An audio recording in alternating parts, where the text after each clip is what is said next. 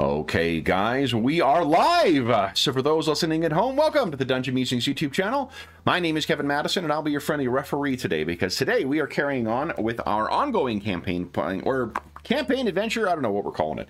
Our own, uh, I guess, trip. Uh, playing Mongoose Publishing's Outstanding Traveller, second edition sci uh, science fiction RPG, and uh, we are playing through uh, one of, or a modified version, I should say, of their Reach Adventure Five, the Borderland Run.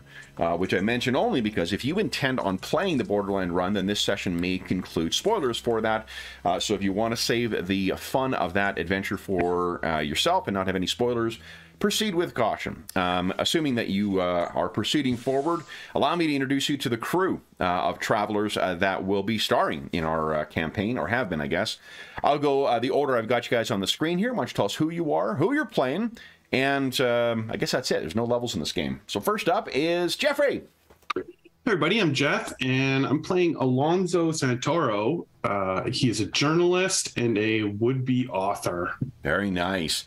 Uh, next up is David.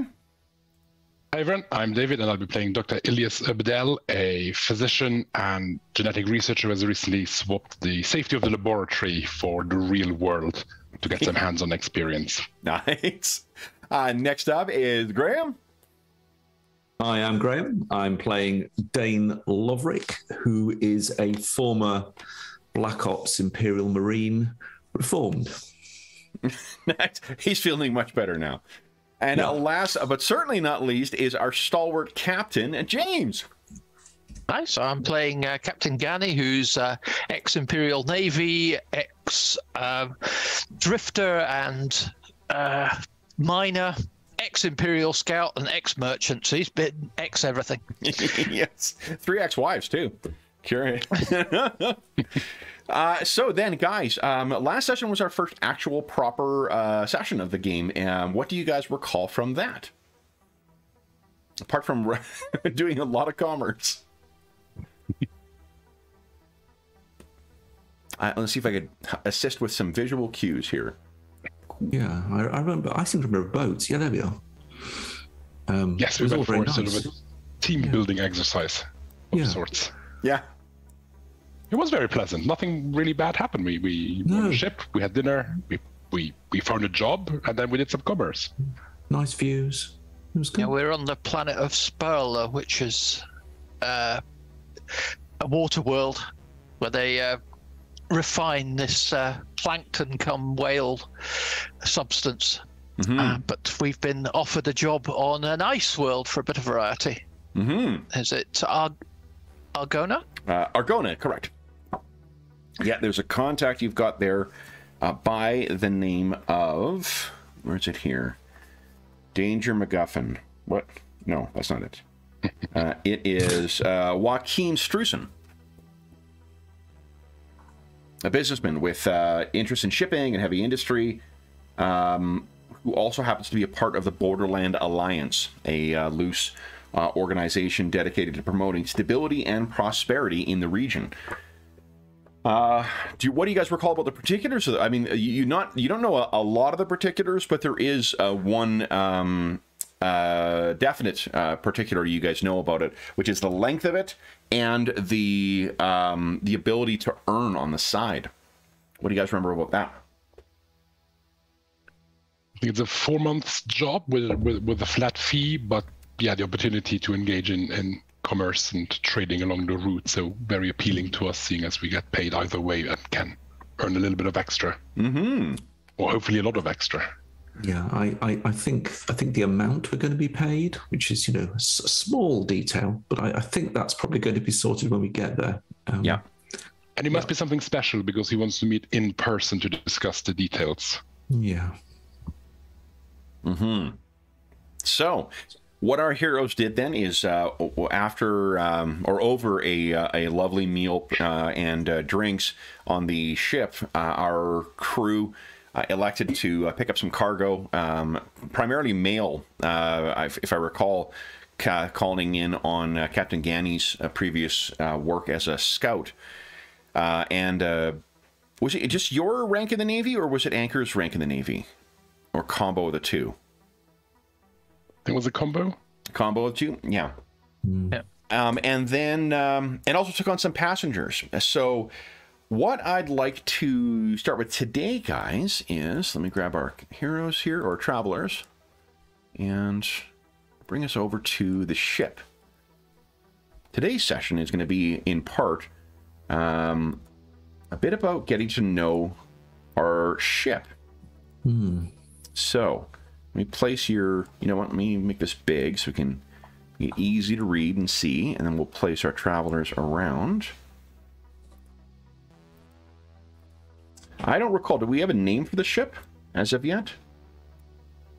Uh, the A Rift, Rift Wanderer. Wanderer. The Drift Wanderer, right. Okay. Rift. Rift Wanderer, okay.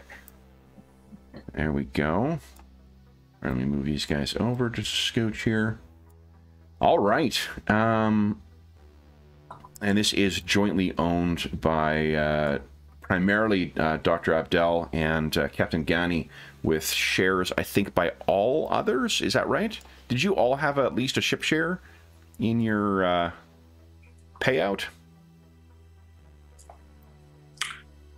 Uh, I didn't have ship shares. Uh, I did contribute to the start sort of start fund.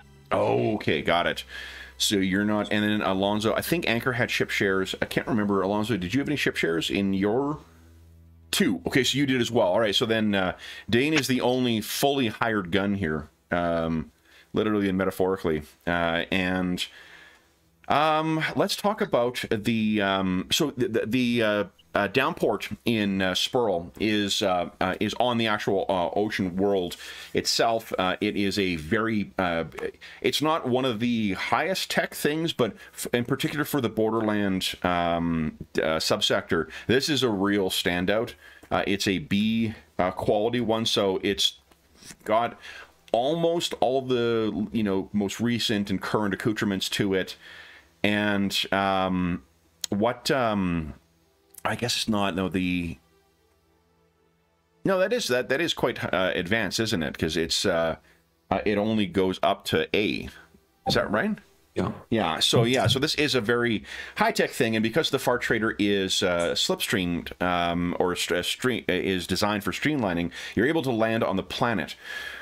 Um, you guys have managed to fill the or fill uh, not only the cargo bay, but you have filled the um, low berths with uh, individuals.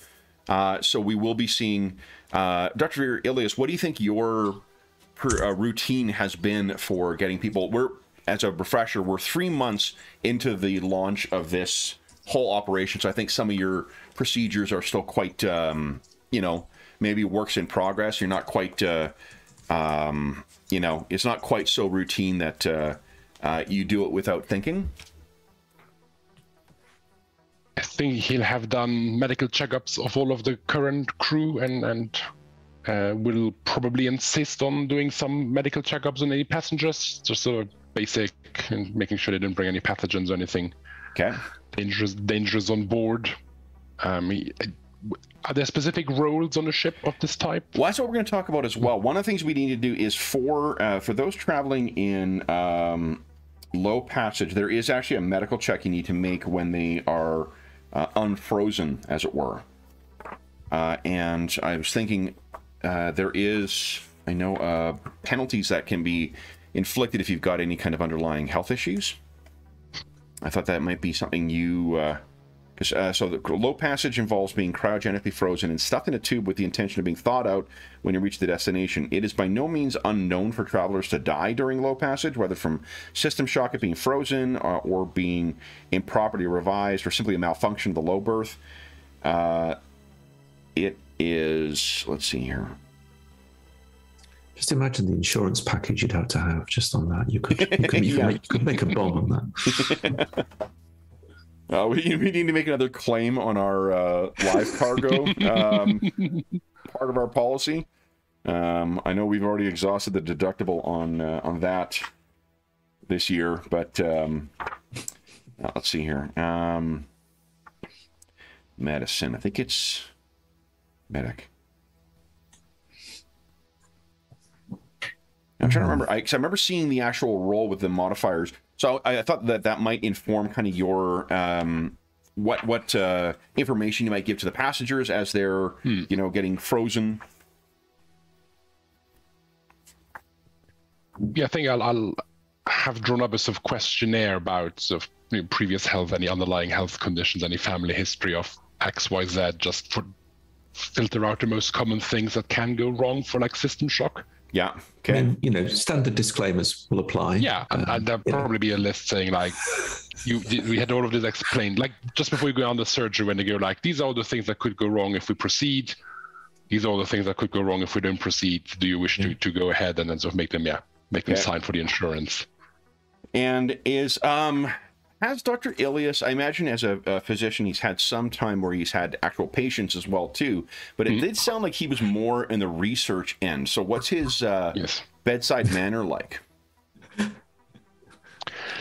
he's he'll be a bit standoffish probably because the a lot of the, the later years in research would have been in very fancy sort of military industrial complexes where you know his, his word would have been obeyed immediately and the patients were not people off the street that have come in but uh, people from like special missions and things who were told to comply. So he's possibly still getting used to dealing with uh, you know everyday people and and, and their uh, attitudes and, and and their sort of fears of maybe you know, maybe it's someone's first journey off world or something like that which he's not which he wouldn't be used to. So he's probably just like okay this is for your own good just comply. Yeah.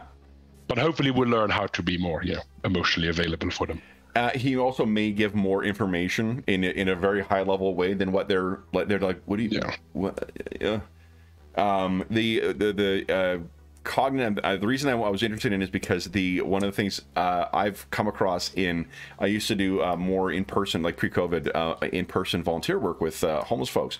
And one of the things that was, was always amusing is when we'd have corporate lawyers volunteering with that for the first time. Um, not because their, their presence wasn't welcome whatsoever. It's just that it was so outside of their, their comfortable rubric. Like they'd be giving these very detailed explanations of contractual interpretations and things like that when these people are swearing affidavits of identification.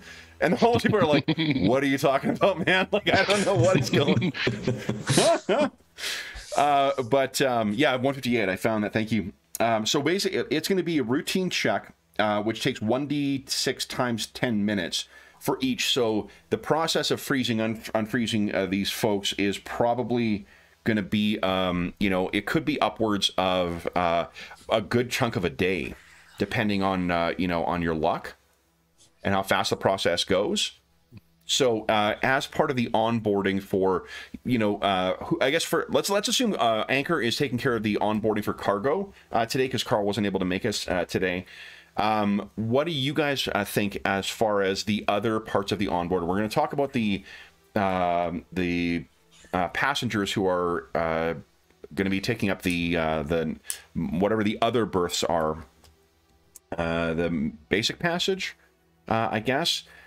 Um, but it sounds like Dr. Ilias, you'll be taking care of getting these people, you know, sort of like checked out and getting them set up in the in the uh, low berths, getting making sure that that's running properly. Yeah That sound right? yeah Okay. Um, then uh, the um, oh, you know what? Anchor is your pilot, isn't he?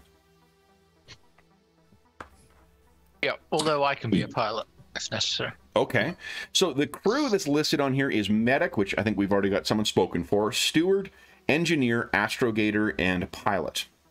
Um, where do we think everyone? Alonzo, I'm assuming your uh, strengths are going to be in steward. Yeah, I believe Alonzo is the steward because I I took that when we were passing out the uh, skills, the uh, the traveler package skills. Then I believe that's where I got steward from. Okay. Um, so then we have our engineer, astrogator, and pilot.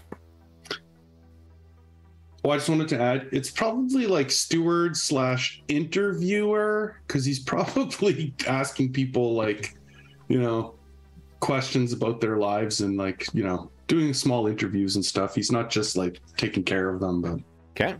trying to garner information. Sure. And what about the rest of our crew? Um, and Dean, where did you think you, you were going to be? What role did you? Um, sort of like security. Um, uh, I, I have pilot. I have, I have, a, I have a level in pilot. Um, I don't have any astrogation. Okay. Um, I've got a, I've got mechanic zero. That's as close as I get to understanding how those engines work. Okay. I do have a little bit of combat medic. That's about it. Okay. And I, I, I can't make a sandwich to save my life. so what about uh, the space equivalent of MREs is what you bring when it's your night to cook? Um, I don't bring anything. uh, Captain Ganny, what about uh, yourself? What do you? Uh, well, I've got jump drive and pilot Wow. and uh, yeah, mechanic three. okay. Well, no, mechanic's useless in in a spaceship, but um, yeah. So I've got pilot and jump drive.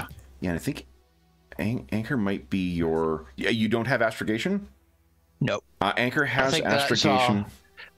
Yeah. Dr. Ilias I guess can we'll have to astrogate use as him well. in a passive capacity. Yeah. Dr. Yeah. Ilias can astrogate as well. Oh, great. All right, cool. Great. Nice. Uh, and then.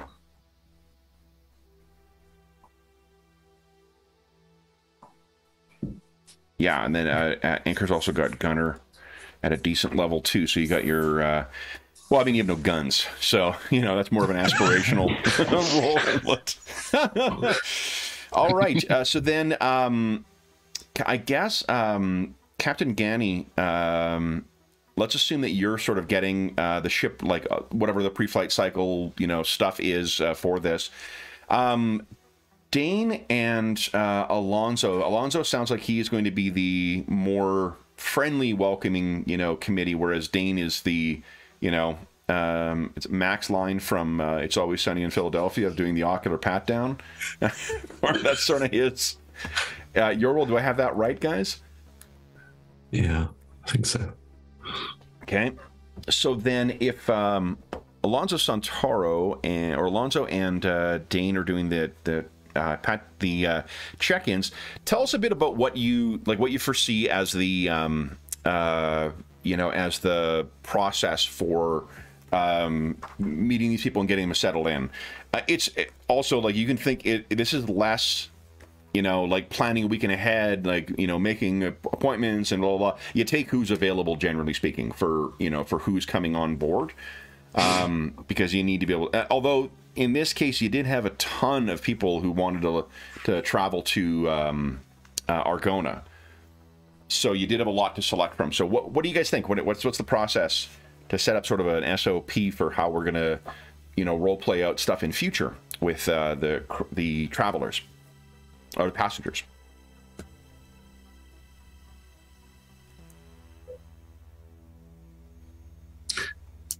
So well, I think oh, go ahead. Jeff.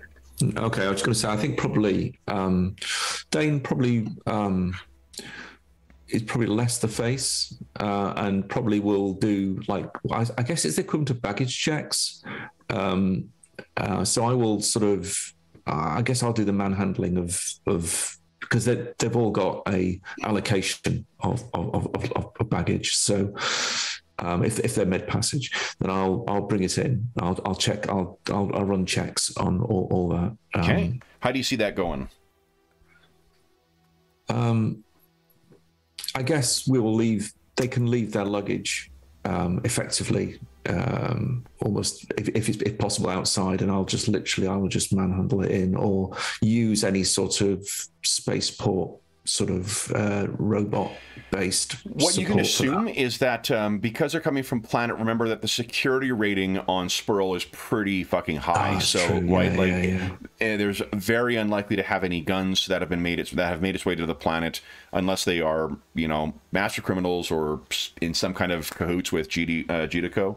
Uh, GDICO, we're not in cahoots.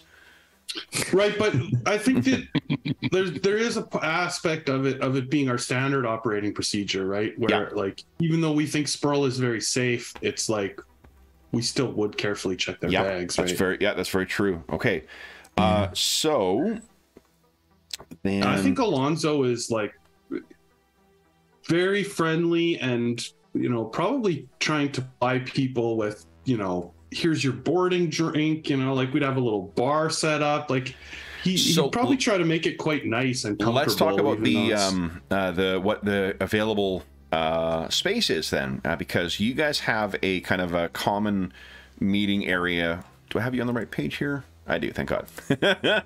uh, I have you on. This is your sort of crew area here, right, where you guys have the shared um, uh, kind of meeting boardroom and whatnot.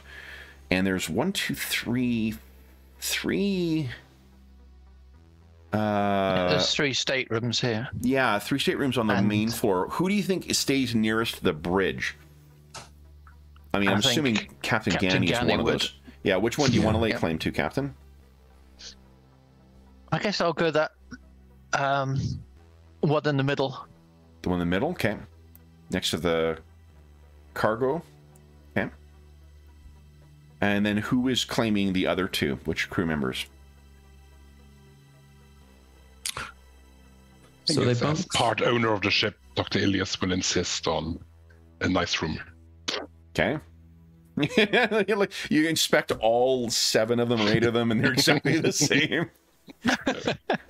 Although you have had three months to personalize it, so I will be interested in hearing what you guys have, like what what we're seeing when we walk into these uh, um, the various crew places. Uh, which one This- did uh, would you like to be next to the um, uh, what do you call it the uh, airlock or furthest away from the airlock? Take the one furthest away from the airlock. Okay, so you and uh, Captain uh, Ganny have these. Who was taking this one? Well, do we know how? I wish I knew how many ship shares Ank had. Um, let's see Do you, here. do you know if he put it on his character sheet? I can't. I couldn't Oh, yeah, open it it. could very well be. Let me take a look. I was going to open it and look because I had two ship shares. So if I had the most ship shares, then I would take it. But Okay. uh, I don't see it. I don't want We to have- panic you guys. Does anybody have engineer? Well, I, I- I've got engineer jump drive. Oh, great. Okay, great. I was just saying, like, um, Oops. this is like Kingmaker with no healers in the party all over again. I think um, I think we got five passengers, so they'll take up five of the passenger level staterooms. So if I could take the stateroom that is off the passenger lounge, Yep. Okay. oh, okay. So down on deck two.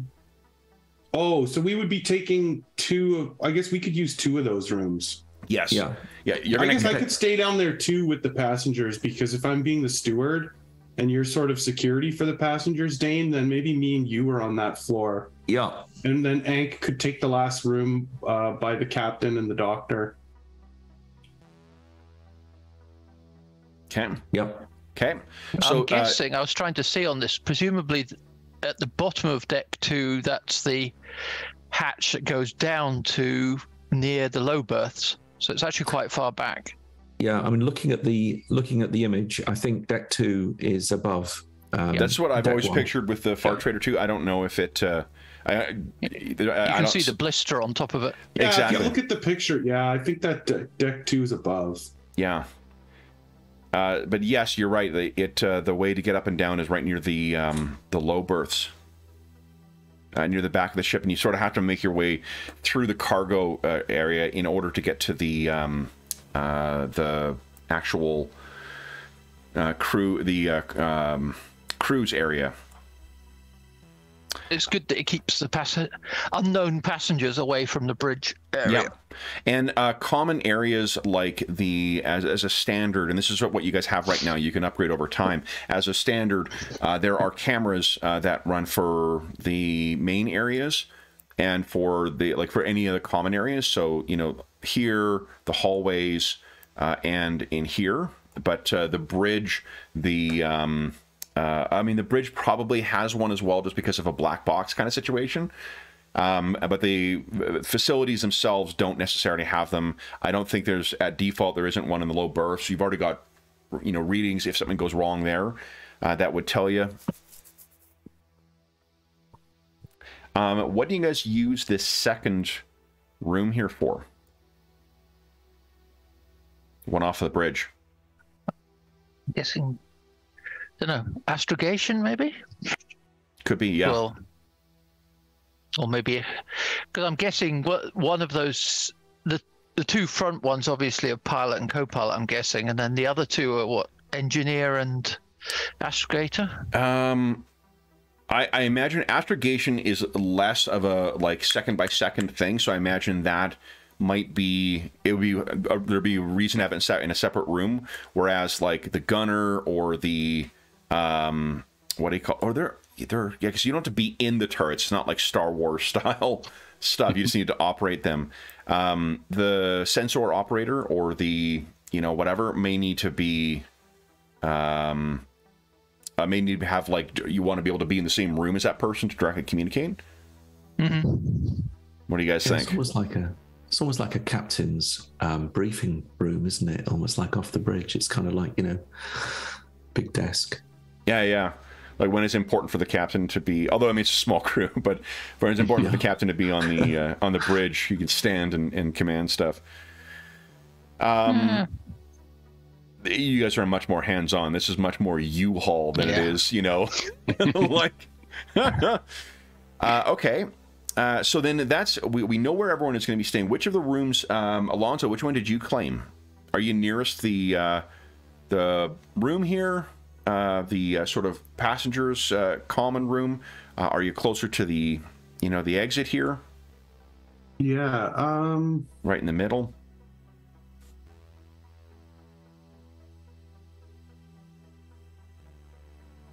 Probably. Do you want to take the one by the lounge? Ch- Um, Oh, I guess I could take the one that's connected to the lounge. Makes sense. And I, Yeah. I'll, I'll perhaps do one down by by the entrance. Yeah. So- Why don't you secure the entrance? One of these guys here. So if someone comes in after our passengers are right there to protect them. Yeah. I like that. Yeah, and it makes you know it, it also you know as part of your intro for the people of like you know and if you need anything, this is the room you'll find me in. Uh, if you yeah, don't I'm find right here off of the. Yeah, okay. totally.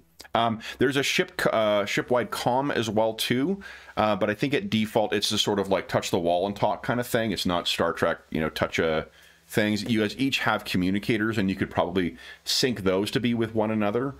Um, but it's just as easy to you know to target a specific area or a specific person and talk to the entire thing um, by touching the wall com unit, and that's that would be in every uh, basically in every room. You would have some way of, of communicating directly with everyone else if you're not using your com.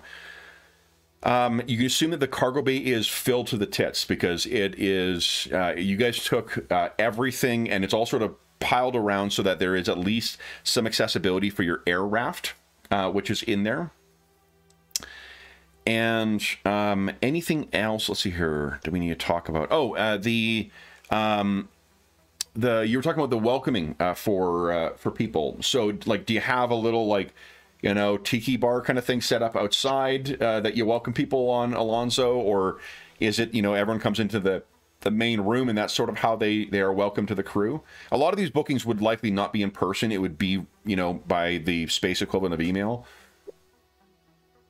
Yeah, I think that um, the bar would be set up in the sort of passenger lounge area so that, like, I kind of strategically separate the customers from their suitcases so that Dane can sort of do his security uh, without them watching so that it's it feels a little less uh, like we're all over them. You know, I sort of escort them. Oh, no, Dane will take care of your luggage kind of thing, right? And then bring them up to the lounge.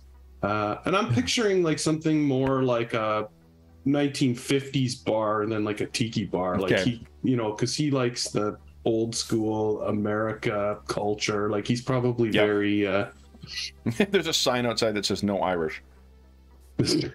Yeah, we could have like a, a small briefing, you know, for, for, for the passengers. You know, uh, That's what I was thinking. Wanderer. Yeah, you guys Rift would have an orientation journey that kind you're of- unlikely to forget. Something. yeah yeah. totally so probably like escort them all and bring them into that room and you know ply them with drinks or whatever their you know vice is to try and sort of get them comfortable and give them the big speech the big onboarding speech Uh, probably explain to them that Dr. Ilias will have to do his medical. He'll come up for a minute and explain his medical rules for the ship. okay. Or do we give those passengers medicals as well, Dr. Ilias?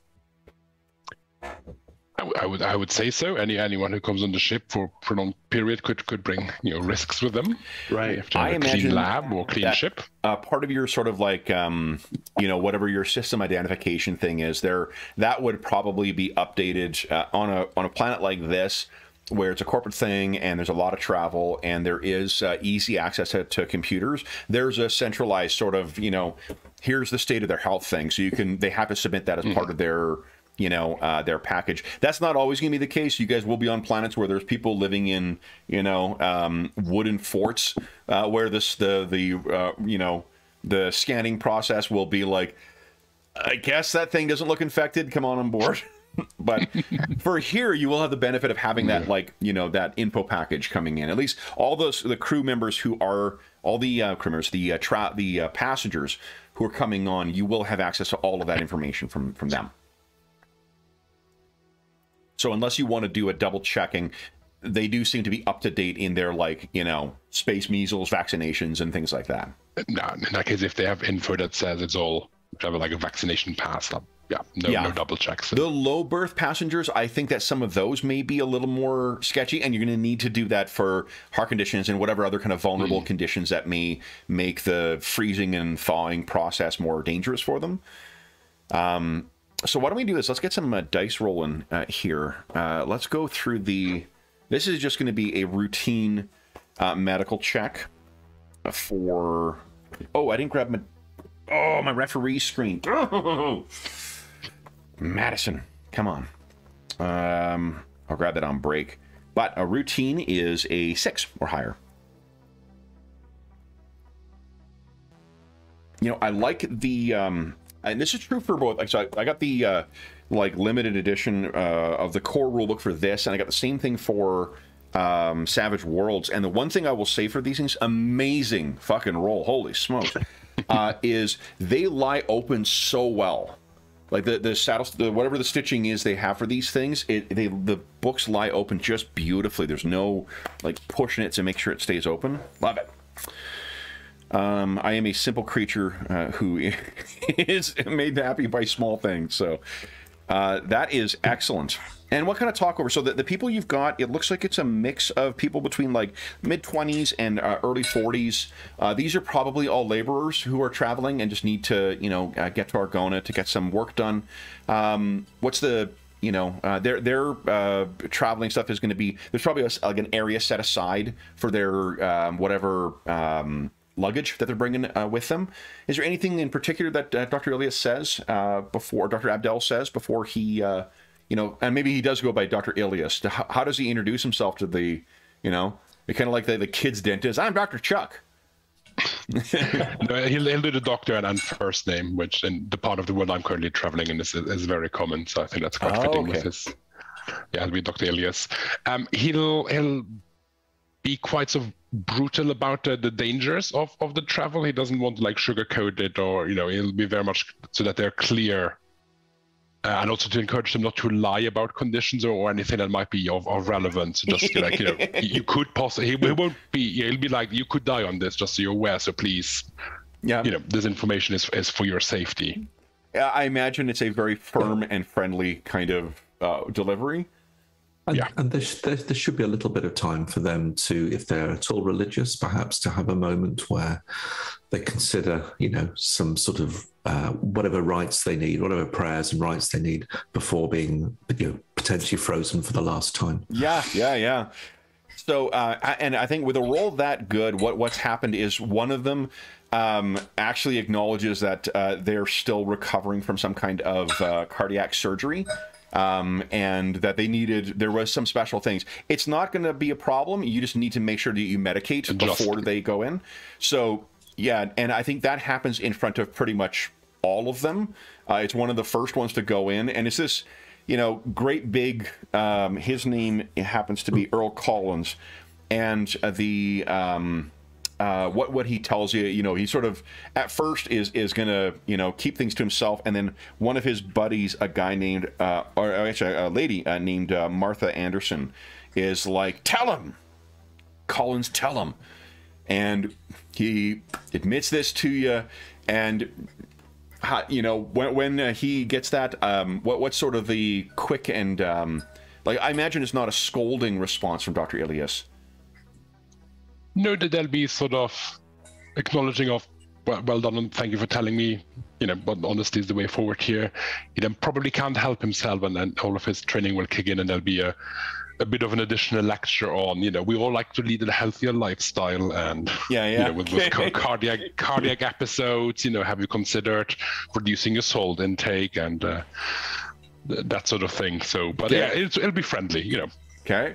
I think But after you do that as well, there's, you know, two others who admit completely unrelated. I had a bit of a sniffle uh, from before, and you're like, nope, that'll be fine. And other one's like, I'm allergic to house cats. And you're like, no, no, There, there, there are no cats on board. Quickly Yeah. check the cargo manifesto. Yeah, no, there are no cats on board. okay. So then you, yeah, uh, so you get all your the low berth passengers uh, secured, and then what are you guys thinking is the process for uh, like, um, is it just um, Alonso and uh, Dane who are arriving, and then Dr. Ilias uh, as well in the um, for sort of the you know passenger orientation uh, onboarding meeting, or are, are there others? Dr. Gan, in particular, Captain Ganny, do you attend that meeting, or are you kind of the mysterious, you know, man above?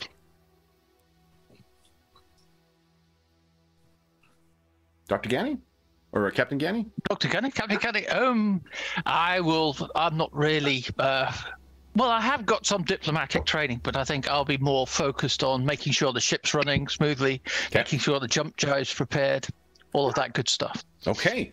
So then it would be um, Alonso and Dane who are attending uh, for uh, the thing here.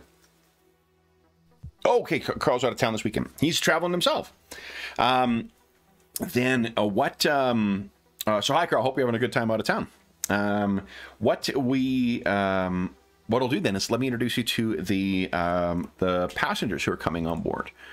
Um, and I'm gonna have to reference. Oh, you know what? I can pull it up on my phone and reference it there.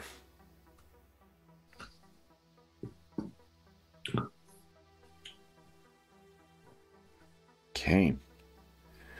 Um. Nope. There it is. Okay. Uh, only because I did write it down, but I noticed that I, I wrote one thing down incorrectly. So I know, Anna. I got to make a better job next time. I will. I will.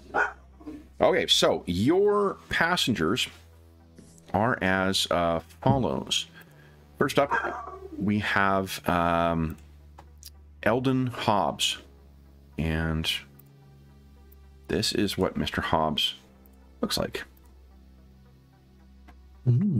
Eldon Hobbs is clearly a uh, noble from uh, one. Well, he, his uh, uh, origin. You know, something. I'm gonna drag her in here because I don't want her barking all day. Honey, hey, sweetie.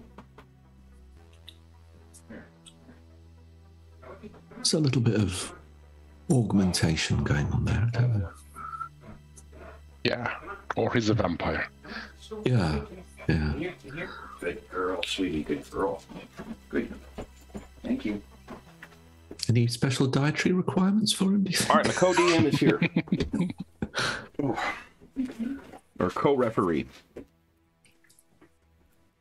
Thank you. Can I have my sheets? Thank you, sweetie.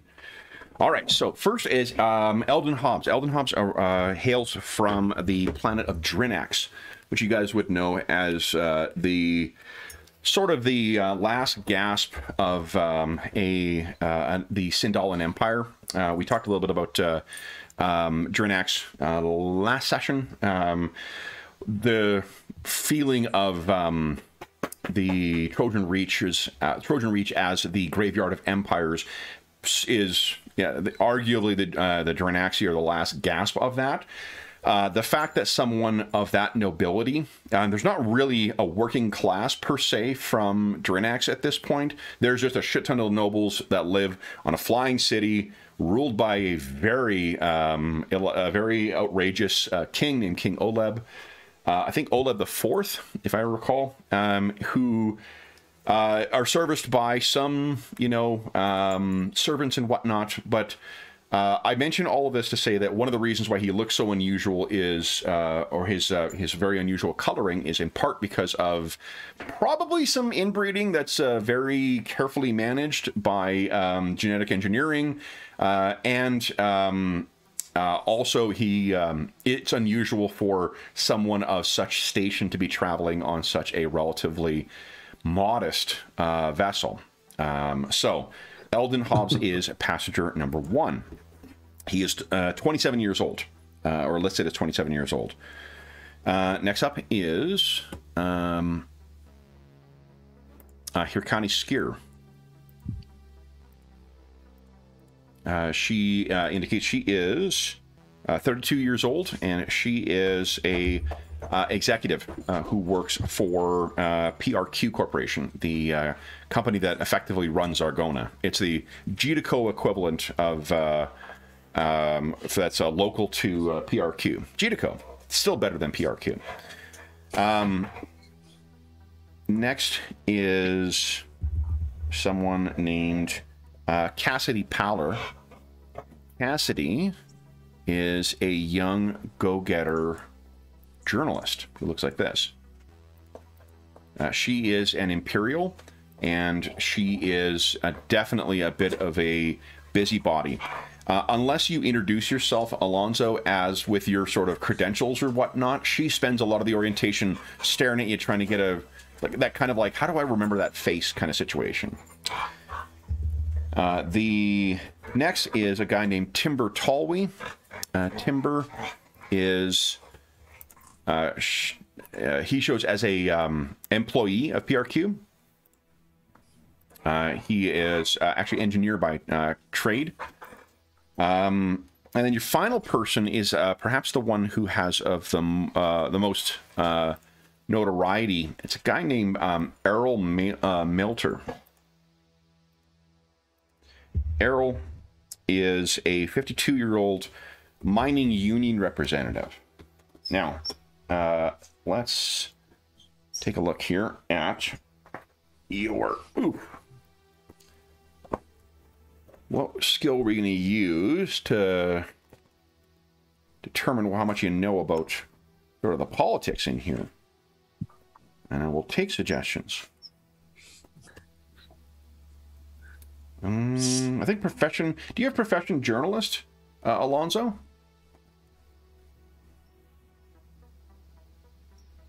I think Streetwise might apply as well. I definitely have Streetwise. Uh, Streetwise.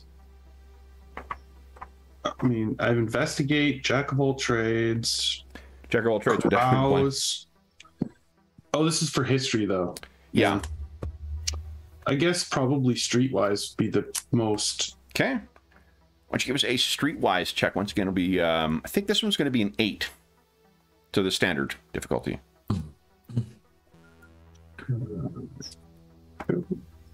Yeah.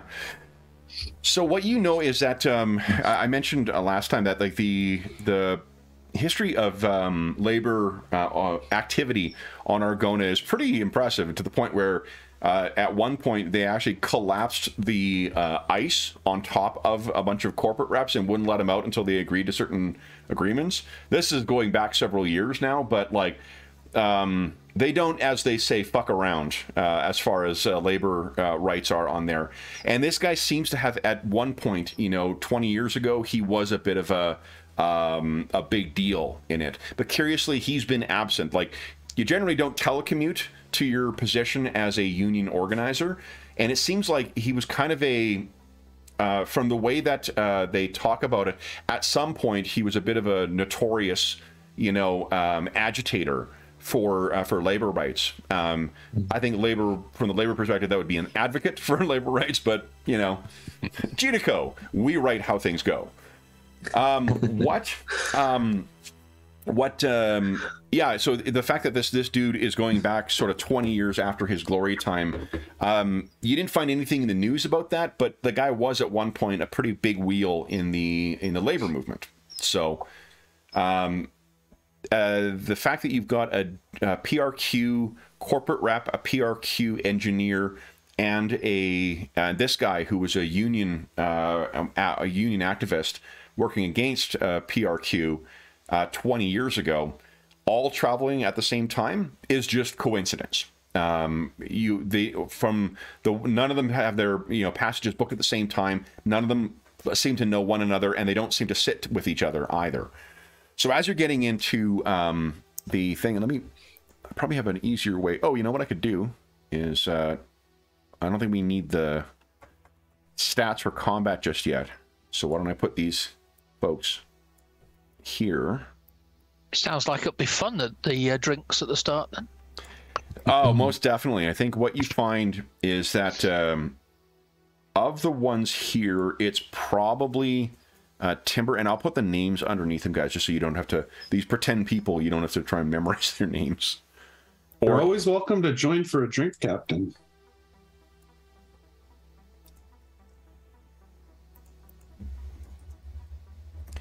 I think what we can say is that there's maybe a um, a scene where you're you know once you've got everyone booked, you're going through with your uh, Dane and uh, Alonso's uh, initial sort of you know uh, information about these guys or these folks. Right. The brief that Kevin just gave is probably what Alonzo briefs the crew with in our little crew area, you know, after everyone's boarded and whatever. Hmm He would um, be sharing that information. Hmm.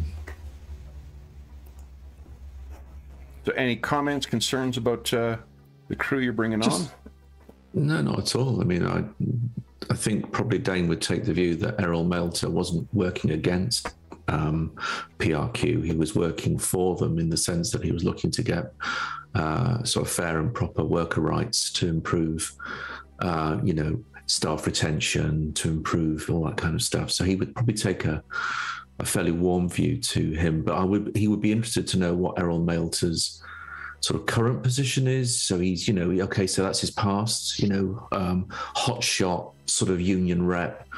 You know, that's, you know, 20 years on, is he still in the same position? I suppose he'll just, he, and he, and he, maybe that'll be a, I don't know if that's an icebreaker is the right word, but maybe he'll just sort of talk to him What about, the fuck are you going back to Argona for? yeah, the bastards. Why would you do that? So uh, beforehand, I mean, you would be a little limited in your searches you could do, but if you have, uh, if anyone has uh, training in computers, I think you could probably sort of use the, um, you know, the what uh, database that uh, PRQ has or PRQ that uh, GeDeCo. GeDeCo way better than PRQ's computers. Um, what uh, you could do is use the effectively like kind of the database um, at the uh, starport to try and access, you know, if, if there's any other news or whatnot to get a sense of what this dude's been doing if if you're interested i mean you, you have uh depends on how paranoid uh, you may be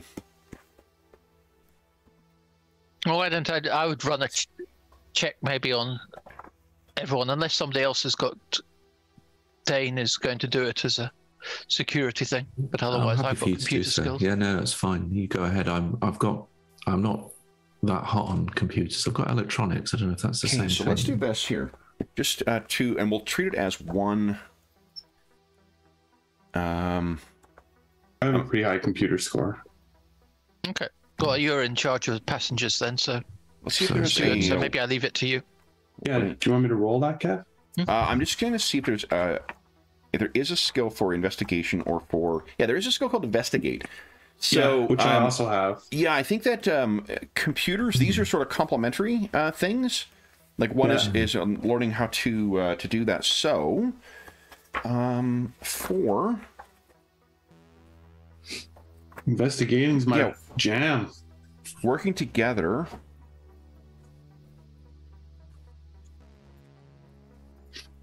Is let's see here.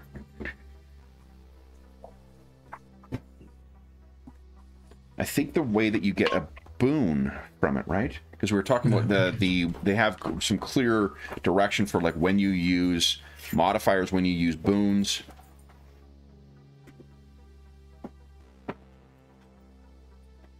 Oh, so if you have complementary skills, then you would roll with a boon. I was checking here. Okay. M- as it happens, my electronics is actually um, specialized in computers. So I've got Oh, nice. I've got a massive computers one. Okay. so then, um, why don't uh, whoever wants to give us a computers check? Let's see here. Let's do it as a task chain because that'll be fun. Uh, we'll see what kind of uh, security package you're able to put together with it. Task chains uh, are basically the way it works is uh, one someone makes a check. Uh, this is on page uh, 63 of the 2022 book. Um, you make a check, and depending on how well you do on that check, it sets up the next role in the check. So if you guys want to work together on this, I'm fine with uh, the last check being the investigation, the actual uh, checking into this stuff, and the computers being sort of like setting up, you know, whatever. I, I imagine there's more than just like setting up a criteria for a search thing. It's setting up a more complex algorithm to go through, you know, thousands, if not millions, of worlds worth of info and whatnot that's been saved. They sort of say that like memory is kind of not an issue in this setting. It's not really something until you're getting to the like very very low tech computers. So I imagine there's just a like ungodly amount of information you need to sort through in order to really parse out what you're looking for. So, um, uh, Captain Ganny and Dane, you both said you had uh, good computer checks. Who wants to go first? Try and set up. I'm going to just say, hey, hey, Ganny, you, could, you couldn't check through all this uh, mound of data, could you? Just to, give it a go. yeah. Cheers. Okay, so an, uh, an eight is a success with a zero uh, effect. So that means uh, plus one. Uh, so you'll be rolling uh, plus one to your uh, investigate roll there, Alonso. Okay, here we go. Uh, plus one. Oh, yeah. Nice. Nice. Very nice.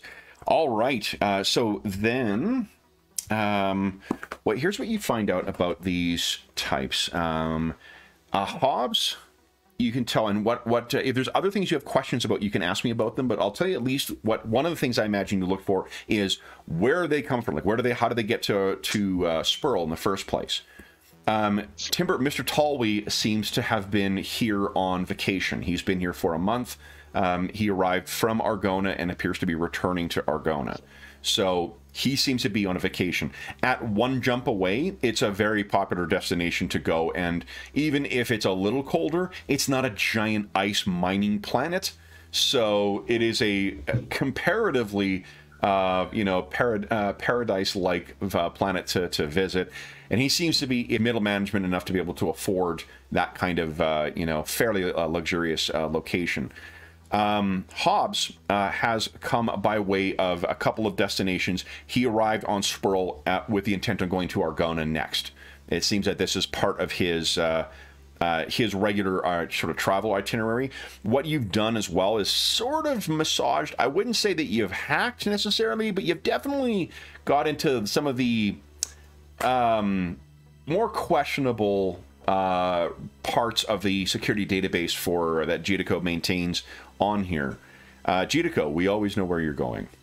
Um, so you've got that information to be able to track back what the, like when they went through customs and, and whatnot.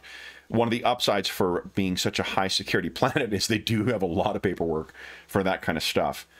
Paler uh, appears to have uh, been on planet for about uh, three months or so, and it's not clear where she came from before. Oh, I know, sweetie. Can you come up. Um, so she, it's it's not clear how long she. Uh, it's been more than three months since she arrived on planet. Uh, Milter likewise has come through uh, from um, outside of the um, the what is it's the Borderland cluster, uh, as has uh, Skir. Uh, both of them have been on planet for about maybe two weeks at different times they arrived. So you've got Paler arriving, uh, although Skir arrived shortly before Melter did. Melter um, seems to have only been. Um, I, it's not clear what he's been doing. There's, you know, there's a, a hotel he's been staying in. You rolled quite well, so if you want to investigate sort of what's been going on, it appears that someone's paying for his hotel. So someone uh, put him up somewhere for a time, and then he and but as I said, he and Skier booked, booked their fly, their travel at a separate time. Same thing with Hallway. so that's what you know about the travel stuff. Is there anything else that you specifically would want to be looking into? So I would be giving that sort of dossier of information to the captain. Um, and I'm not sure if he shares that with the doctor, but only if they ask me to look further into the passengers. Um, I see our destination and this like arrangement we're in, and that's the adventure he's looking for. He doesn't see these passengers as like adventure people. They're like corporate people and you know union busters and boring. Mm. He's, he doesn't think they're very uh, adventure worthy at this point. So that's he would just do that background check for the crew, and then if the captain, captain, anything you see of concern here, want me to look into Oh, no. deeper? I'm busy tinkering away, looking at my uh, jump drive dials at the moment. So Yeah, he won't I'm even look at the papers I'm, passengers. I'm putting in front of him. Yeah. I think, um, passengers think paying for the uh, the fuel. Apart from that, I've uh, So then I'd probably give the the pa- things to Dane after the captain has, you know, to put on file or whatever for his security. Yeah, files. I think, I think I think for Dane, I remember Dane was born to a lower echelon family on an industrial world, Albi. So actually, for for him, somebody like Errol is probably as close to a hero because he's he's kind of seen seen what happens when corporations just exploit workers.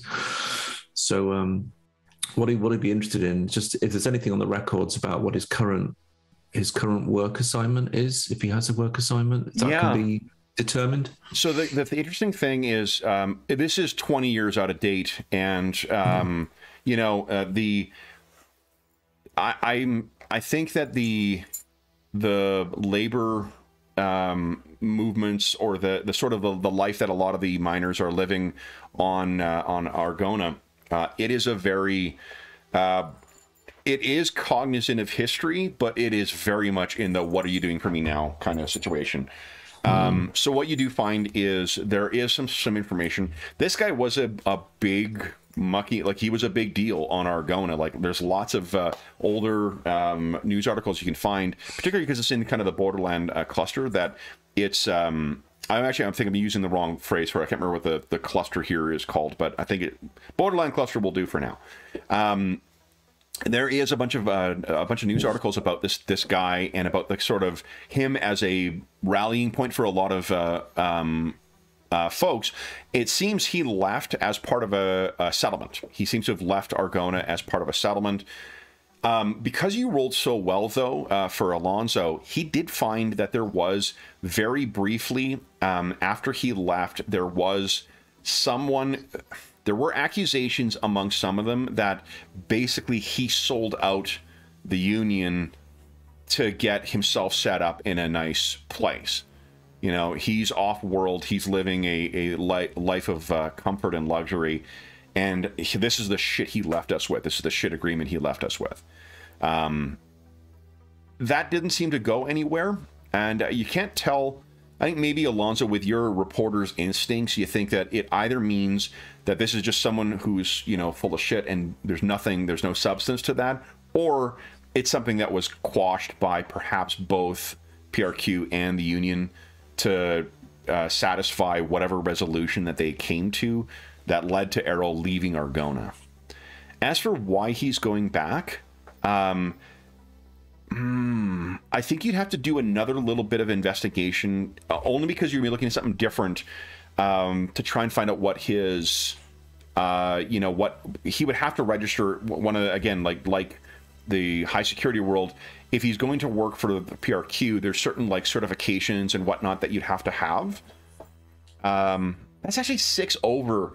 So Alonzo, if you followed up on that, um, he does have his that he was lapsed for two decades, but he has recently reactivated his uh, membership in the Argona Mining Union and his certifications for it. The sort of um, space mining equivalent of red seals and and uh, those kind of things.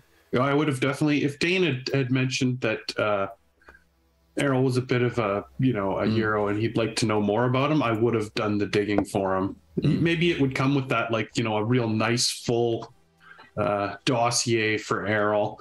Uh, Yeah. especially like giving him a chance to like maybe even including some talking points of like you know, if this is someone you want to converse with while we're traveling, Yeah. uh, it's good to, you know, have a bit of information.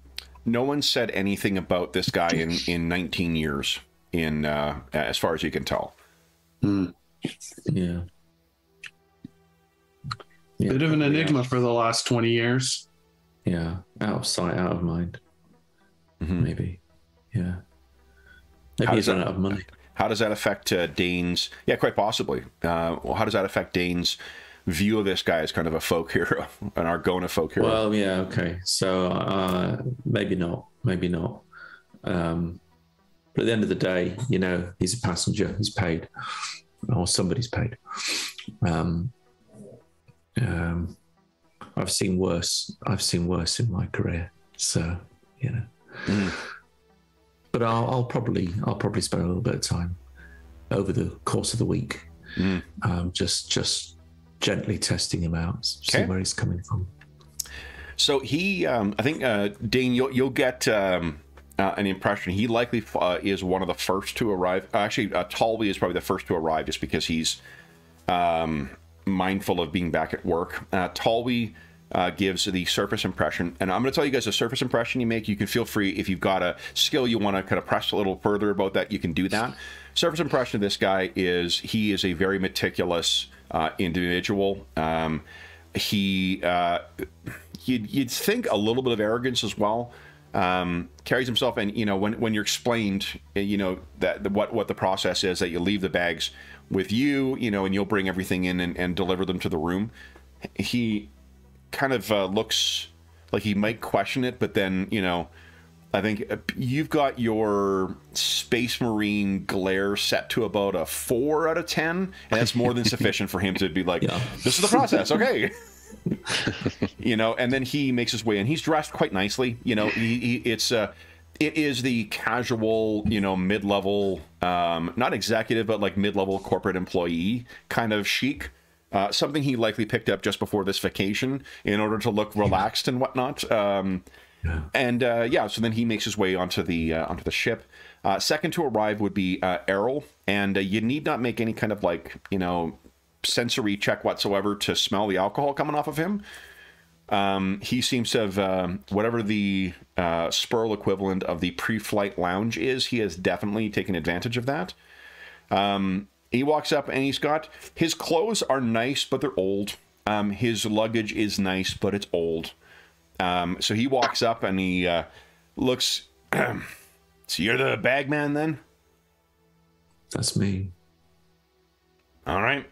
Gotta have a lemon some way. Puts it down and uh, doesn't give it a thought whatsoever. The way he tosses it down um, t- ex- explains some of the dents and you know scuffs and whatnot on this very nice piece of luggage that he was uh, using, and without you know uh, he gives the impression of. Um, uh, you know that that sort of like uh, you know uh, aging uh, working class fed up with it all kind of demeanor uh, that is precisely what he has is everything is ex- is exasperating to him but whatever this is just life so he puts it down makes his way up into the uh, uh, into the uh, uh, ship um, Cassidy is probably next to arrive. Uh, she is a very keen uh, individual. Oh, sorry, T- uh, Talby is not the first to arrive. It would have been Cassidy that would have been first.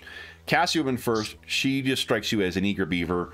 Uh, she's very friendly. Um, and um, the yeah, and that's it. I don't think she has anything else to say. Uh, Errol would have been next. Then it would have been Hobbs. Uh, Hobbs gives the impression of a very out of his depth noble. If you think of um, any archetypical, you know, British television of befuddled aristocrat, is kind of what he would be giving off. Yeah, hopefully he's not Bertie Wooster, but yeah, I, yeah. It's very not like he he happily goes along with when you tell him you need to do this because he clearly has never done this before.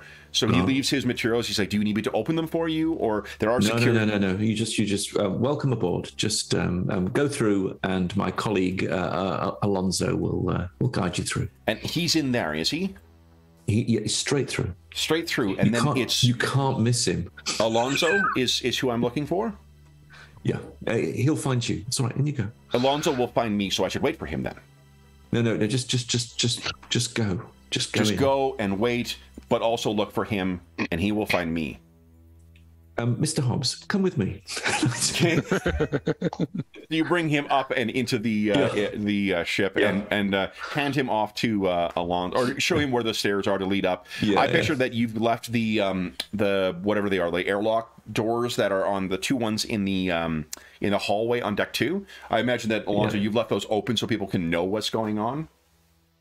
Okay, and then uh, uh, next is um, Miss uh, Skier, and uh, she is all business she has the hurried, uh, you know, um, and uh, serious demeanor that only really like corporate types or officer corps have, you know. Um, so she, when you d- instruct her that to leave the, the stuff there, she gives it a look, gives you kind of a look to make sure you're, you know, to sort of sizing up like some fucking guy stealing bags at the uh, starport.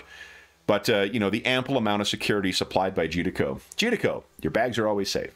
Uh, they um, she leaves them uh, with you and then makes her way onto the ship. And last to arrive is Talwi. And uh, I don't think you guys necessarily have a like we're leaving at four o'clock kind of thing, but he's really kind of pushing it. So he is the last to arrive and has the exact same demeanor. So that's the order that you've met everyone. Um, Skier, yeah, again, no nonsense, um, but um, you know, and seems attached to her whatever her little pocket, you know, computer thing is. Um, one of the things you would know is because um, wh- while there is a, um, you know, uh, I guess actually messages would be leaving at the same time you guys are. There isn't a faster way of getting there. So, like trying to get messages off before, unless there's a courier ship in orbit that's about to leave before you guys, messages are going to get there at the same time as you guys. So it's not like they need to get that email off before you know the uh, the flight restrictions come in. But uh, she still acts like that. And the last person is uh, is Talwi, who has that exact demeanor that I, I described before. That's also the order that these people would be arriving in the lounge, Alonzo. And when the word uh, or the offer of free booze, I think Cassidy at first, again, if you don't introduce yourself as you know who you are, she just is kind of giving a look to you, uh, trying to figure out where she knows you from. I'd probably be just introducing myself by my first name. Yeah, You know. Okay. Yeah, yeah. So she's going to looking at you, trying to figure out what it is. Uh, ha- accepts the drink and then sits down. Um, shortly afterwards is when Errol will show up, and Yeah. uh, Mr. Melter uh, he saddles up to the bar with the uh, certainty as if he doesn't intend on leaving anytime soon.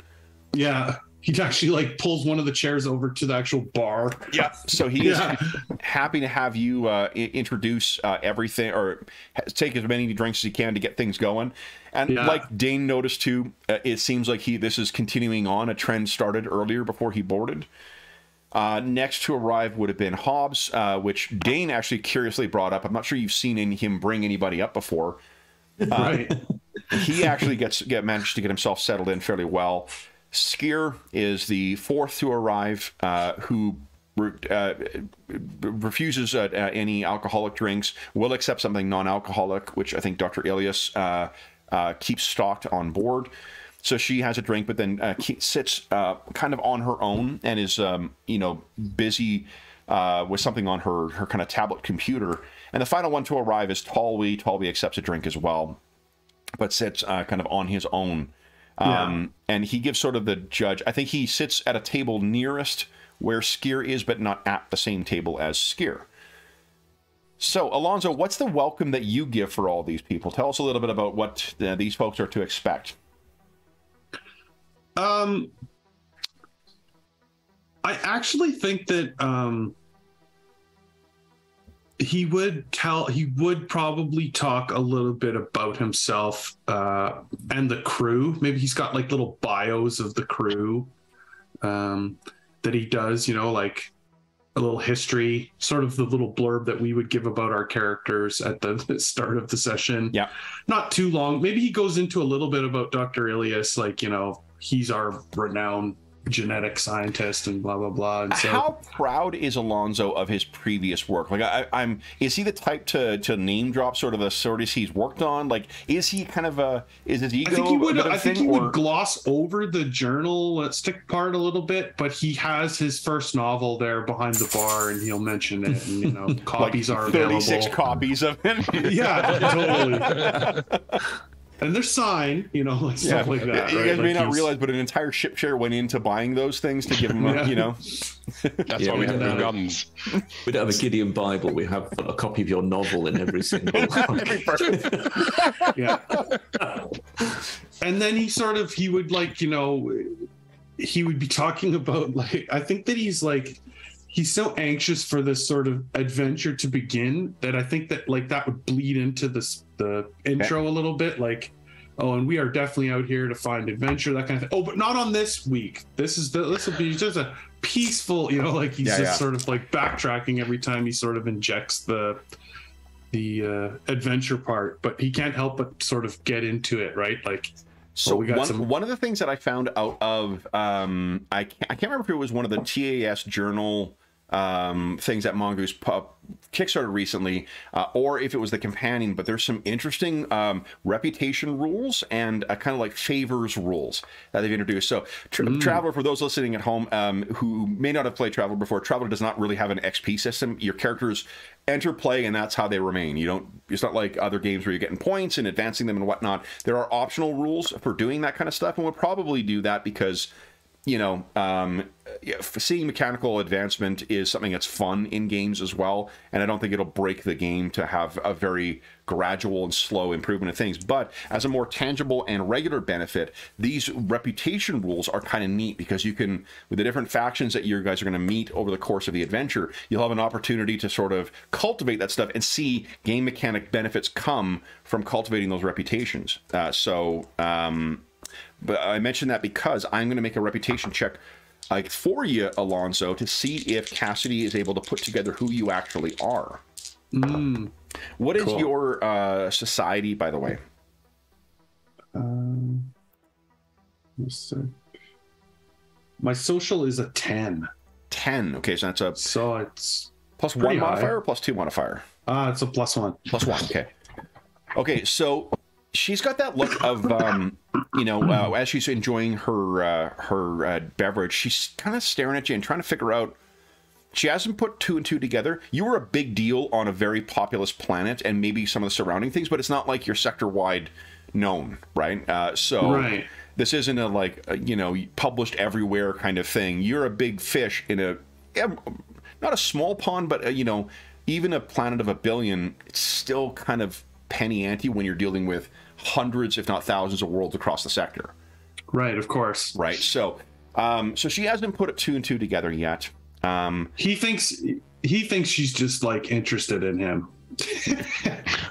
for sure, yeah. So he's like probably to- throwing some little flirts out there during the uh, conversations, right? Yeah. I think um, of the passengers, uh, when you have your kind of Q and A uh, session, we can assume that Dr. Ilias, you would uh, join uh, at some point as well.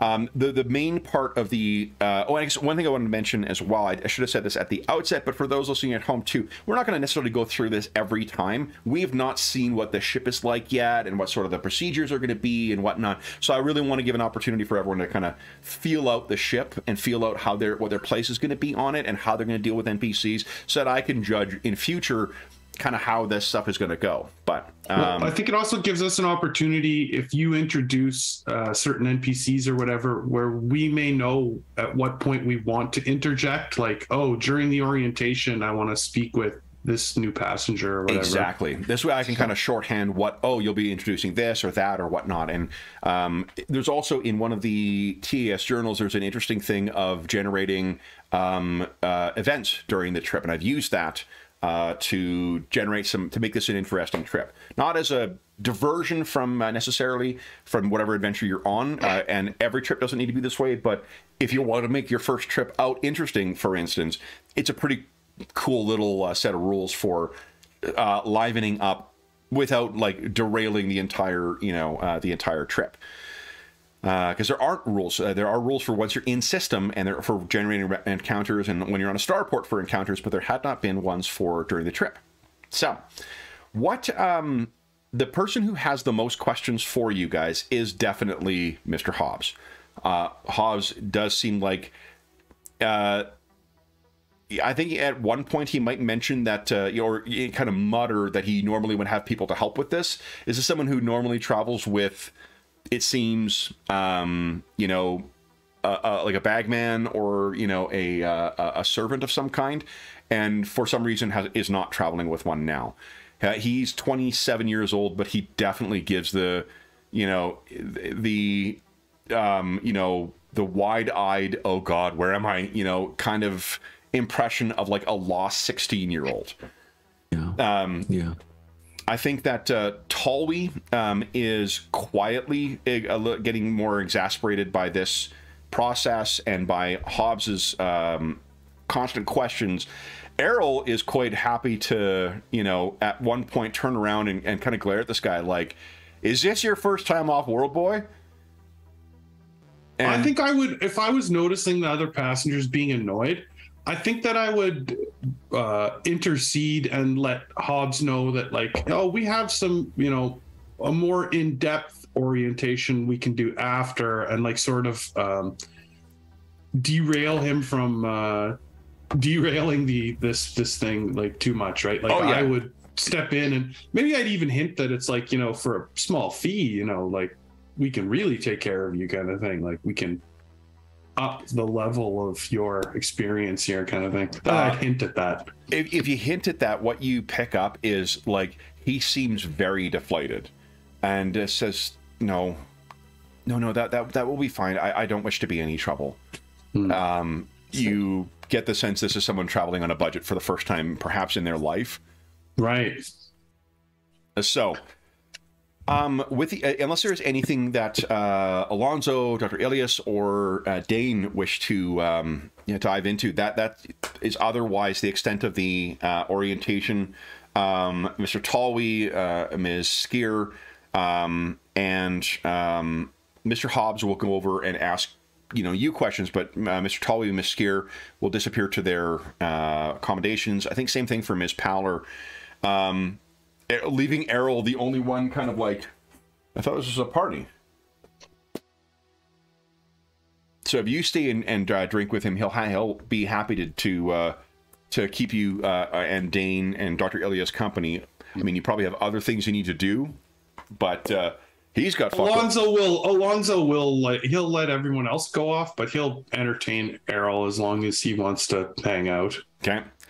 Um, he is, it seems, um, intent on getting like not blackout drunk, but like two doors down from that is Right, is yeah, what yeah. he if he uh, goes on. Um, After about his tenth drink, I switch to some really cheap whiskey, but I tell him it's you know, oh, this is some good old, you know, Yeah. earth quality. you don't even need to get that far. I think like uh, six, seven drinks deep. Uh, Oh, because you guy, said he was drinking before he got here. He was drinking before he got here, and Yeah. it seems like this guy doesn't hold his liquor the way he. Uh, if you let him talk, he's again one of those guys who, like a, a referee, he wants to talk all the goddamn time and not let the players talk. Uh, he is uh, one of those guys who just wants to tell you his stories from back in the day, you know, kind of thing. Um, and it seems as if the every back in the day story that he has to tell, unsurprisingly, seems to date from about two decades ago. Mm-hmm. Um, if you do gently nudge the conversation in a way uh, to um, more recent stuff, he sort of like ca- casts it off eh, very, very like someone who is is used to sort of downplaying whatever he does now and redirecting the conversation back Oh, okay. you know, and he t- spends a lot of time yapping about um, that time back in the day, you know, oh, blah, blah, this, and uh, he very quickly gets into kind of the, you know, very negative uh, against PRQ um, stuff and uh, the the shit they pulled and all this and that and whatnot, like. Um, a guy reliving his glory days, and the more drunk he gets, um, Yeah, exactly. I love it because it is a nautical term too. I love that. Um, what? Um, yeah, what? Uh, he gets a little kind of maudlin about them too. Like he's got no stories that that are more recent than you know when he was in his twenties or thirties, I suppose. He's he's uh, fifty seven right now, fifty two right now. So yeah, uh, and then he'll drink himself to the point where he needs to be put to bed, and uh, um, you will need to kind of help him along. Um, this has the if this guy was a heavy drinker at one point, he is not able to handle it any longer. Yeah, I'll put a bucket by his bed or something. You know? Okay. Yeah. Uh, so you uh, see him off to the the berth. Um, Dane, I was going to ask you to do. I think it's recon is what I want. I think recon is the sort of like insight type uh, skill here. Scout out dangers and spot threats, unusual objects, or out of place people. That would have been good to have. Okay. Oh, do you not have it? Sadly not. Does anybody have recon? Yes. Oh, so uh, Dr. Elias, uh, do you wish to? Actually, you know what? I got an interesting way of, of tying this in. Why don't you give us a recon check?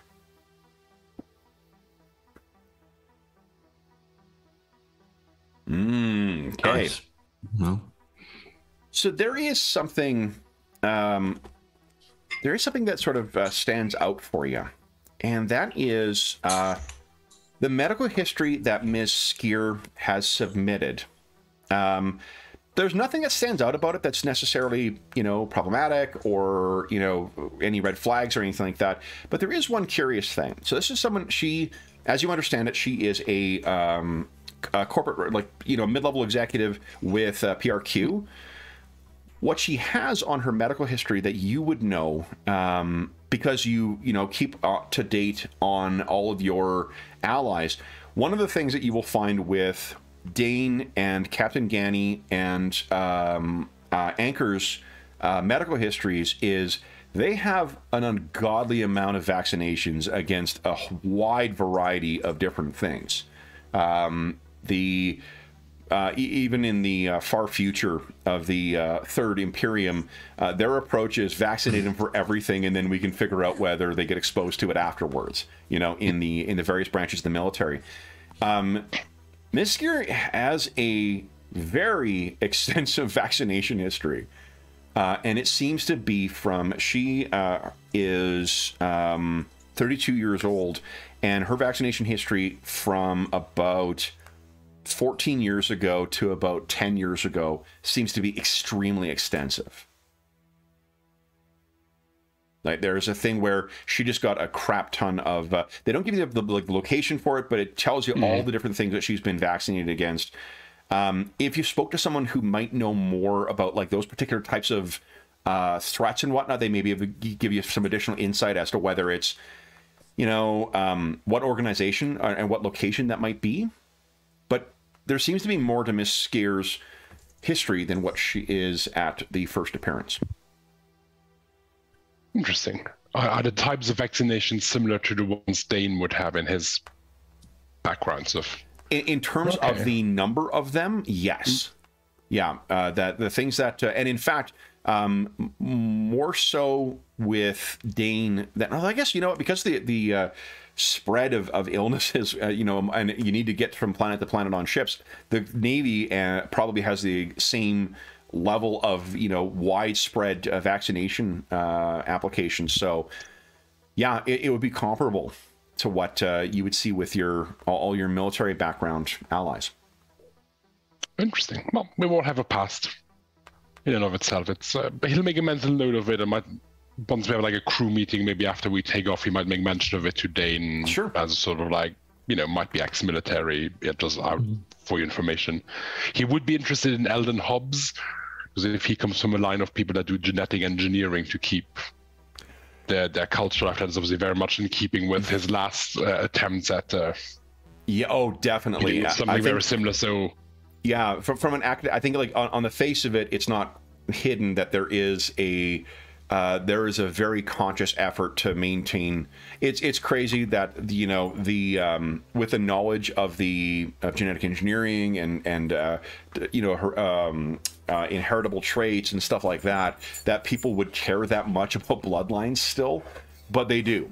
And these people, it seems as if uh, there is a great effort uh, for um, tracking. Not only do you have access to him, but because it's it, it's kind of part and parcel with his, um, his information uh, tracks back like 1600 years worth of uh, ancestors. He's clearly part of the nobility on Drinax and there's a great effort to make sure that that uh, one of the things is with your bloodline, even if you're going to be marrying in with cousins and whatnot too, because of the genetic engineering, you're able to get away from the pitfalls of that. You know, uh, there there isn't a Drinaxi equivalent of the Habsburg chin, for instance. so, so it would be very unusual for someone from his background to be traveling almost incognito like this. Definitely. And and also, I mean, if he is someone who is is intending on traveling incognito, he's fucking awful at it if you speak to Dane. you know, like the impression you get is like this guy is just unless there is a elaborate con for him to be floundering and not know how to do any of this stuff, it's a really conspicuous traveler and it is a very um it, what possibly could it hide? Maybe you know those who are more conspiracy minded, like Alonzo, may be able to fill you in on that.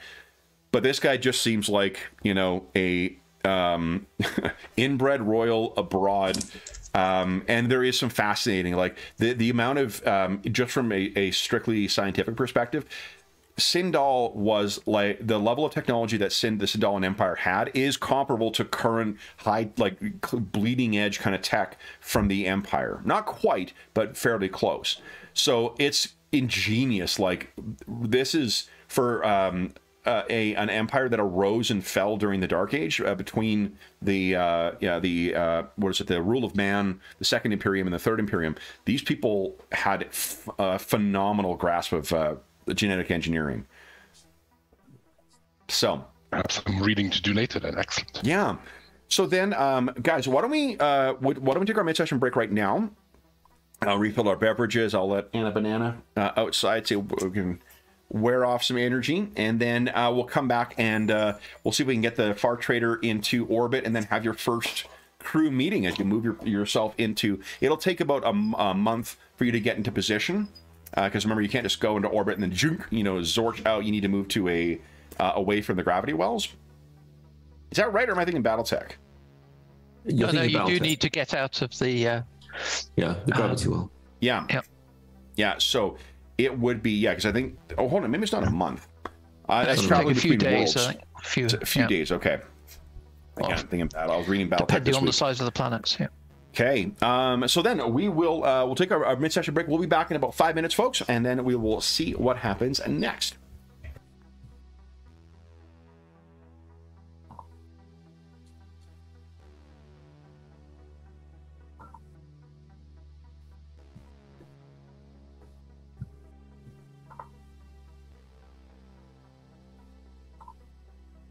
the world's first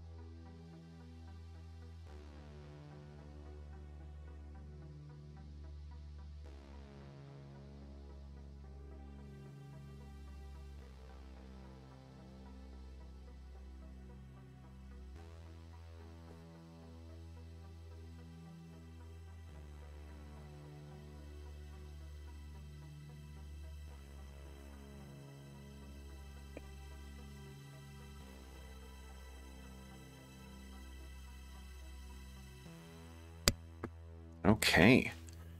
You know, while we're waiting for everyone to get back, I will mention as well. Um, there is a supplement for Mongoose Traveller, first edition called Supplement Seven: A Thousand and One Characters. Uh, that is super fucking cool, and it's got. Uh, it was really, really helpful for trouble, just uh, either uh, stealing whole heart, uh, whole, holy, or just uh, um, brainstorming for ideas for random uh, characters or random people who meet. There's a separate one for patrons that's also quite good, but for um, yeah, for for just like grabbing and, and filling, populating, you know, either passengers or people they meet on the on the spaceports or whatever. A really, really cool supplement. Like it quite a bit. Yeah, I think this has been a great setup for murder mystery. So I'm trying to figure out who, who, who gets it first. And I see you classic, played a know, game with me before.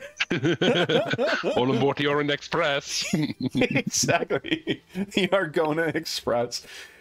Yeah, I figured it would be like what better way to. I mean, the the um, the rules from um, what do you call it? For, or the uh, rules for like uh, shipboard events got my my mind going, and then I stole a couple ideas for the the passengers from that a thousand and one thing, and then it's just one of the I, uh, something I love and I forgot about uh, playing Traveller is just the emergent story that the sort of with the random elements that come together in just this great way is fucking super super fun and it makes the game very different from others where because like having it's like Call of Cthulhu in the sense that not having um, a game of building your character and developing your character means the total game is playing.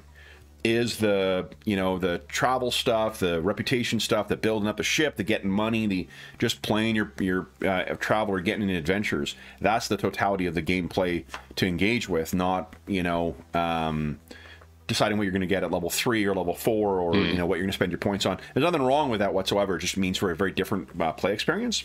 So I like it. It means, um, yeah, I can uh, lean heavily into the role playing and stuff like that.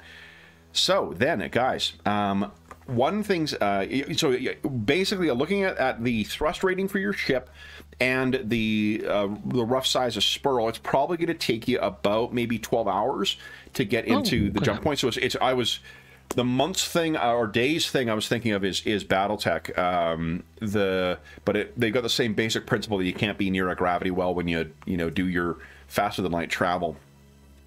Um, with everyone, uh, I guess what is the um, uh, the boarding criteria? Oh, Graham, I lost your camera. I'm not sure if that was intentional. Oh, there you're back. There you go, and moving again. Yeah, okay. you're back, but you were frozen briefly. like either Graham, Graham's being very stoic, or there's a, a tech issue. All right. So then, oh, guys, um, as uh, everyone's getting, what, what's sort of the um, uh, I think that uh, uh, unless you insist on otherwise, Alonso, that uh, Errol will, will happily stay. You know, he'll strap himself into a, the you know one of the the chairs or whatever in the lounge, uh, but he ain't going nowhere, and he's gonna try and not spill his drink. You know, when uh, he takes off.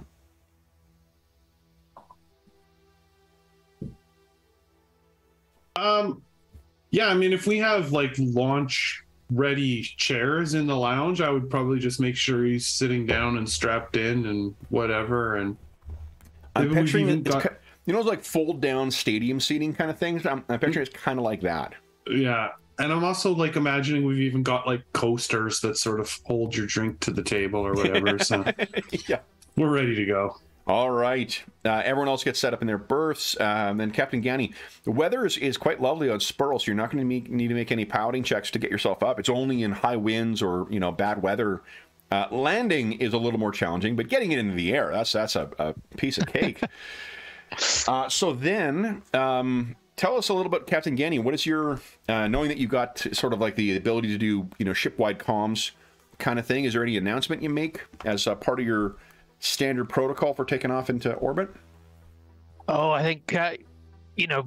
I've been thinking on this uh, as we were talking on this thing. I mean, Captain Gani is a man who's he's come from like uh, Dane Lovray. He comes from a very modest background he's very down to earth. He's got a you know, his background is so wide that he fits in very well in any starport.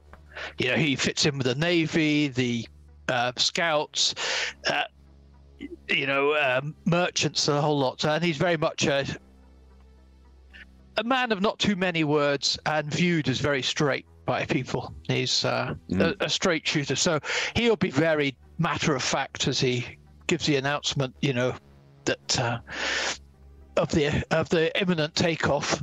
You know he'll give her ten minutes to take off and and address that to uh, Alonso and Dane Okay. um, ten minutes before. Dane and uh, Dr. Ilias, where would you, um, where do you think you position yourselves uh, for for takeoff? When does the astrogation need to happen? Once Uh, we reach orbit or before we Yeah, it needs as soon as you get into, into orbit, you can plot it. It's an easy uh, four or higher astrogation check that takes one d six times ten minutes, modified by education. Um, So you can take one d6 hours instead to get a plus two, but I oh yeah, right. Because Probably, probably good to go anyway because it's quite easy, isn't it? That's a good point. The um, I don't know if this is true for all versions of Traveller, but uh, the second edition has this fucking great uh, uh, sliding scale mechanic for doing things quickly or taking time with things, uh, which you can find on page 62 of the 2022 update. Uh, so if a task takes a certain amount of time, I mean, this is only for, for tasks that can benefit from taking extra time, but going from uh, D10, if it's D6 hours, that will give you a um, plus two. But you can only move uh, a time increment one level this way. So there you go. So that's as good as it can get. But that's true for other tasks. So if you guys um, are, are thinking of like things in particular that you're bad at, uh, if you want to try and improve the chances with that, you can always just take more time. Nice. Like as I think Dr. Elias will be giving one last check over the low berth, making sure all the lights are green and, and everything is, is as it should be. Mm-hmm. And then we'll head to. He'll, he'll probably not having traveled much. He'll probably be in, in, in the in the bridge for takeoff, just to sort of get that, that view of a planet slowly shrinking below and getting that, that sort of nice view as, as, as we take off. So it's something he has experienced very mm-hmm. often. Before we move off of the planet two, um, why don't we treat it this way with the, the time modifier thing? Dane, why don't you give us a recon check? Basically, you're going to make an unskilled check, but you're going to get plus two to it. So it'll be whatever, and then you get to add your. Um, let's see here. What would be the modifier? Uh, I think intellect, probably. What do you think? Okay, so, so if I if I do that, if I click intellect, Yeah. and I get a modifier of net minus one, would that be then? the net minus one is perfect. Yeah. Yep. Makes sense. Let me submit that now. Okay. Okay. Oof. Yeah, and uh, you don't have a. Do you have an intelligence modifier normally? Uh, no. Okay, perfect. Yeah. So you look through, and uh, based on that level of success, what you you cannot find anything hinky in any of their you know any of their supplies. Unsup- you know, unsurprisingly, there's no weaponry in here. Like, um, Spurl is so uh, restricted in its um, you know uh, in its uh, security levels and law levels that no one brought even like a penknife uh, with them on this.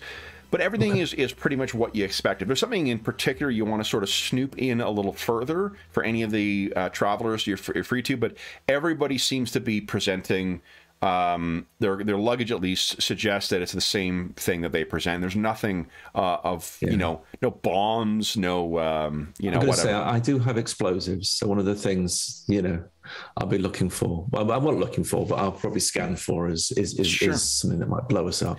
Uh, now, um, that's a good opportunity to talk about sensors in the game because it's not like um, you know one of the, this is one of the fun things with uh, sci-fi RPGs and figuring out what specifically you can expect. Like, can you tricorder this stuff or or not? And I don't think there is. There isn't a tricorder uh, equivalent. Let's see here. There's bio because they're the type. It, it's a sci-fi game of the 80s so it's the future that is limited by the perspective of, of that thing but what it does is it, it uh, specifies what types of things you can scan for like the whole thing of um, there is a bio uh, scanner that s- uh, sniffs for organic um, molecules and tests chemi- chemical samples but there isn't kind of a like i'm detecting six life forms captain kind of thing that you see in star trek Uh, sensors can detect. If you look on page 160, uh, that gives you an idea of what the the type of sensors on a ship can can actually pick up. And so you're limited to like the densitometer. Uh, what is NAS? Neural activity scanner. It detects neural activity and intelligence. So that'd be probably the closest to like a I sense life forms captain thing uh, passive radar or lidar, active radar or lidar, uh, EM, which is uh, electromagnetic, I think, uh, sensors, and then thermal and visual scanners. And let's see here. The neural activity scanner, there is an NES thing, but it's like backpack sized. It looks like on page 117. So, what type of do you think it'd be a bioscanner, like sniffing for those things? A densitometer is uses the object's natural gravity to measure its density. Um, uh, building up a 3D image of it from the inside and out. Hmm, that might be actually quite useful. A densitometer does cost 20,000 though credits. Which ones do we have? Uh, I don't think the ship ones are precise enough to make that scan. So you may be, unless you have Yeah. one on hand, you may be doing the visual. You know, it's Yeah, the ocular pat down of the bags. Yeah. Do you guys? Did anyone pick up any scanners? Nope. Okay. Got a computer, but nothing special on it. Did you guys get, uh, pick up a whiteboard to hang from the uh, in the cargo area of things you need to pick up? yeah. Make a list. That's oh the other thing is uh, I'm assuming there is a gym on board. Where do you think you guys would have that set up? There's a lot of very physical uh, characters here, uh, so I assume there's you know um, something like that. It could be tucked in the corner of the cargo bay. That's sort of where it was. I, I'm think picturing the Serenity, and that's where they had their gym uh, set up. But um, uh, it's your so. ship, so where, where would you think you'd set it up? Same on the Normandy as well. So probably Hmm. put it there. Seems right then. Okay. Is it close to the, the low berths? Is it close to the um, uh, the uh, crew areas? The ones that are closer to the low berths is probably going to one uh, probably would be one that is more easily accessible by the uh, passengers if you intend to let them have access to that. Yeah, it's probably just. I, I would suggest it be um, next to the, uh, Yeah. just to the right of the. Uh, I can't Yeah. ping it. Right here. I think gym You know, the, access will the be extra down anyway. the down shaft is on Yeah. the other side of the wall from the down shaft. Okay. It's Maybe. like- yeah, it's like right around here. Yeah. On the right layer. Yeah. I would suggest we let the passengers have access to sort of anything we can because it's a pretty small, boring week otherwise. And Dave's like, what are you to- talking about? This is my life. yeah, we want them to speak highly of our of our vessel. You know, trying to build up a reputation. is that, is that, yeah, we, we could do. I mean, I, I, in fact, the passengers have got everything that they need on floor two without having to move around the ship. Um, if we want them to go down there, that's fine, but that's where all our cargo is. I mean, they check out, so it's probably fine. You do have uh, cameras in the common area as well. So the cargo bay, the lounge, uh, the uh, hallways. Okay. You will have ways of, of kind of tracking uh, them. Maybe and- only if anyone asks for it. You know, like, do you have any kind of a workout facility? Then we could share it with them. Yeah. Okay. Because I think Alonso's always trying to, you know, do a little upcharge. Oh, the gym, yes, of course, of course. You know, like let's you know slip some credits here on the table, and I'll print you a little gym pass. Uh, the only one who uh, I think would ask about that is actually Skier.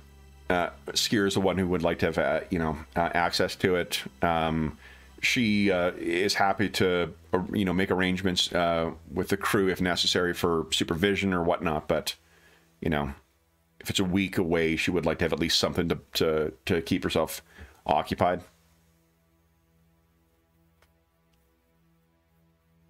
No one has any issues with that. Nope. That's fine. I might it might it might promote a conversation with her about you know. So you work out.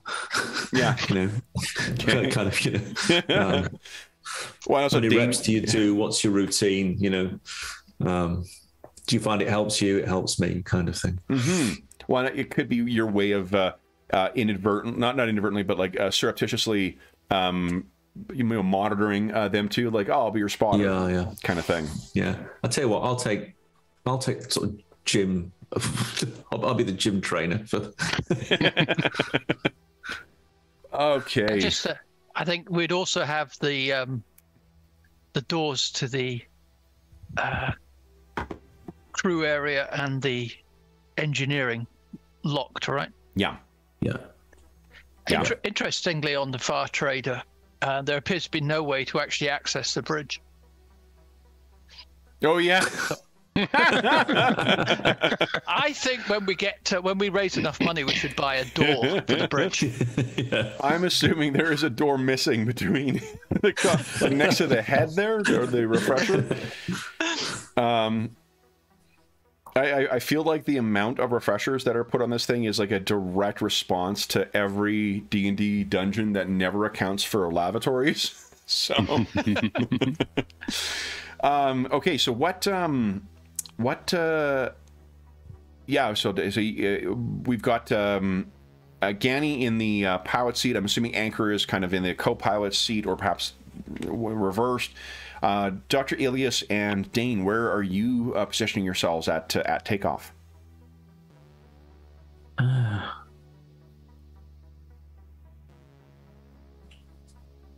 There are spare seats in the bridge. I'll just be in one of the spare seats, Uh, there- getting ready for. yeah, there, there would be like exploration one of those fold down Yeah. kind of Yeah. like I'm picturing like you know like uh, like stu- uh, airline stewards uh, what have where they sort of fold down Yeah. and sit into the thing, but they disappear into the yeah.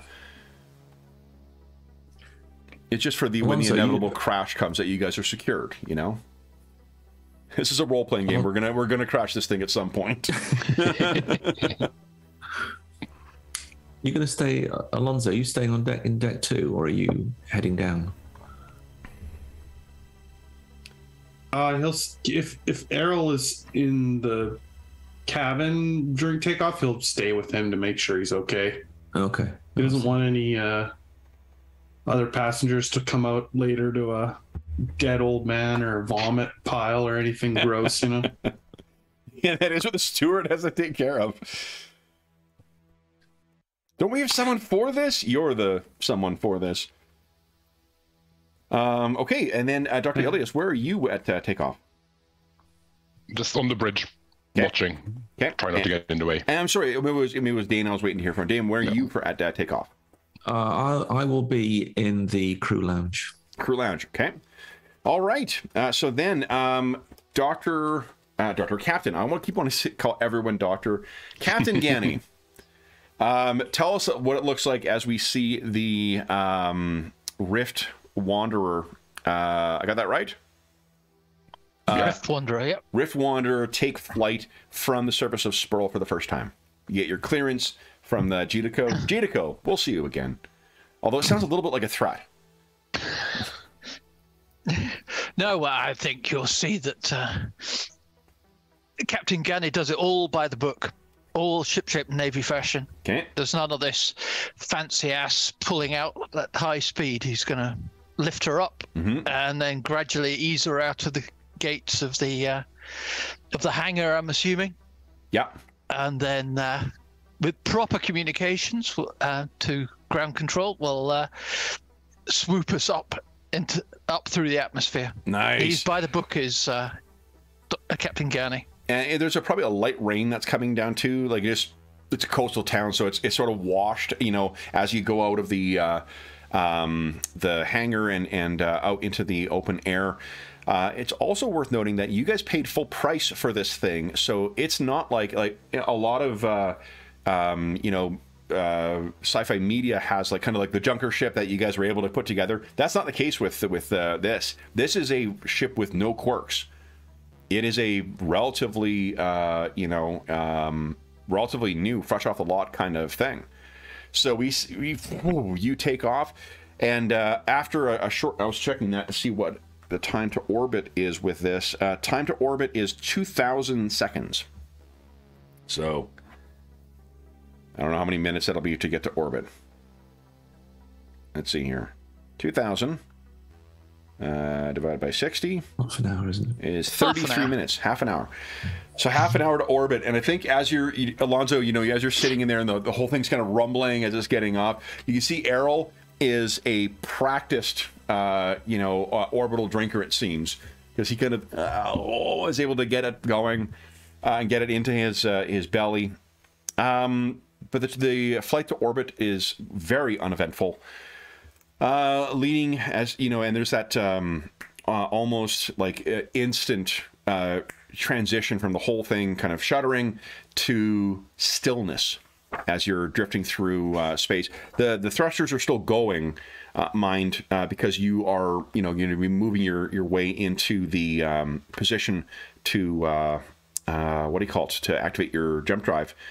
Um, but this is another stupid question, but does Traveller do that thing where you burn for a certain length of time, you stop, and then you flip over and then slow down, or is it more advanced and you're able to just move? It used to be that you'd have to flip. I think Okay. from from my memories of like 40 years ago. Yeah. I thought we did. Because Mayday, the original game, you did it with thrust vectoring. So Okay. Okay. So then uh, we'll see. But I'll, I'll look it up between now and uh, and then just to be sure. But uh, we'll assume that that's the case. You're still going to be burning for a while to uh, uh, to get yourself up to your speed. Um, what um, we need to do then is calculate the. I think Dr. Ilias, if you're going to be the astrogator, it's time to get to work on that next. Yep. So this, assuming, uh, let's see how many. Give us a one d, one d six times hours. Is that right? For the scale down, the extra time. Yeah, one d six hours. So give us a d six roll. Let's see how many hours it'll take you to roll, and then give us an easy astrogation using education. Six hours. You're taking your, you're absolutely double checking all your calculations. Absolutely. Yeah, still a, a novel enough activity. Um, that's a long time to be calculating stuff like that's got to be exhausting by the end of that. uh, but fortunately, amazing. Yep, no difficulty. You have a clear jump to get to Argona. Um, and in those uh, first couple of hours of getting yourself um, uh, into position, uh, you, Alonso, you and uh, Errol drink yourself to the point where he needs to get himself put to bed. Uh, you will not see any of the other passengers this day, um, but or at least until the jump is is made. Uh, what do you guys? What's the sort of um, the way you spend your time uh, when you're moving yourself into position? Dr. Ilias is uh, getting himself or getting the calculations ready. What about the captain, uh, the security officer, and uh, Alonso? Well, Alonso's drinking with uh, Errol. So, what about, so what do I guess the captain and Dane? What do you guys do? I'm um, watching Tri-D sports recordings in the lounge. Nice. Okay. So while Maybe Alonso keeping an eye on the cameras as well. I'll keep a little bit eye on the cameras while I'm at it. oh in the um in the lounge for the crew. Yeah, well, yeah. I'm just going to just sort of. I'll, I'll probably have access to the sort of shipwide cameras, and I'll just make sure everything's quiet and as we'd expect. Okay. Uh, so yeah, the um, if you've you've got some kind of computer, I take it, right? Did you pick? Yeah. So yeah, so you, you can easily. It's it's a simple matter of of uh, syncing that up so you can check the the, the cameras. Um, tell us a little bit about the crew lounge. What does that look like?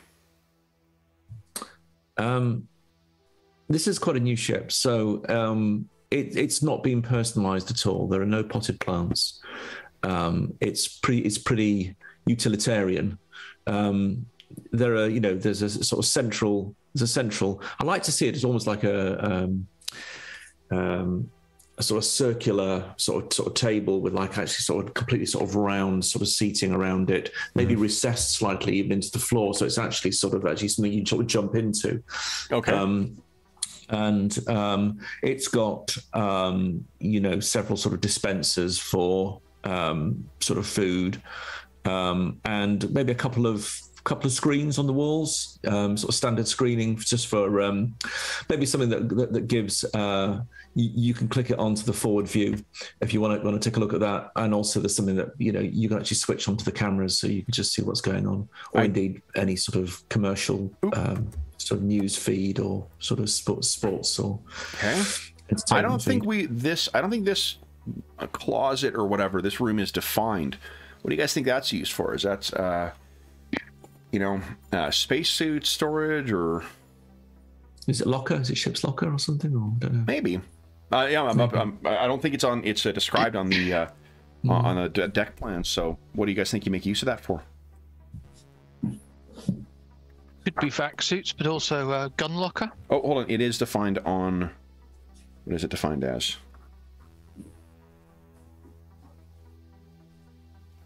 Let's look at that. In here. I mean, you guys could have had it uh, modified. Yeah, ship's locker. Is what that is.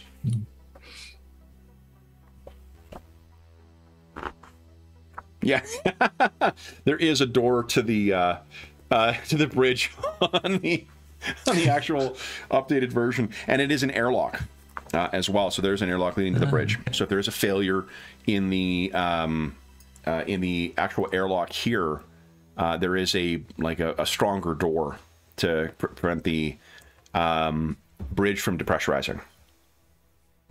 Whoever's watching, uh, you know, Trid Sports in the lounge, they're fucked, but uh, the bridge will be fine. Exactly. I'll message through at that point. Good luck to you all, and uh,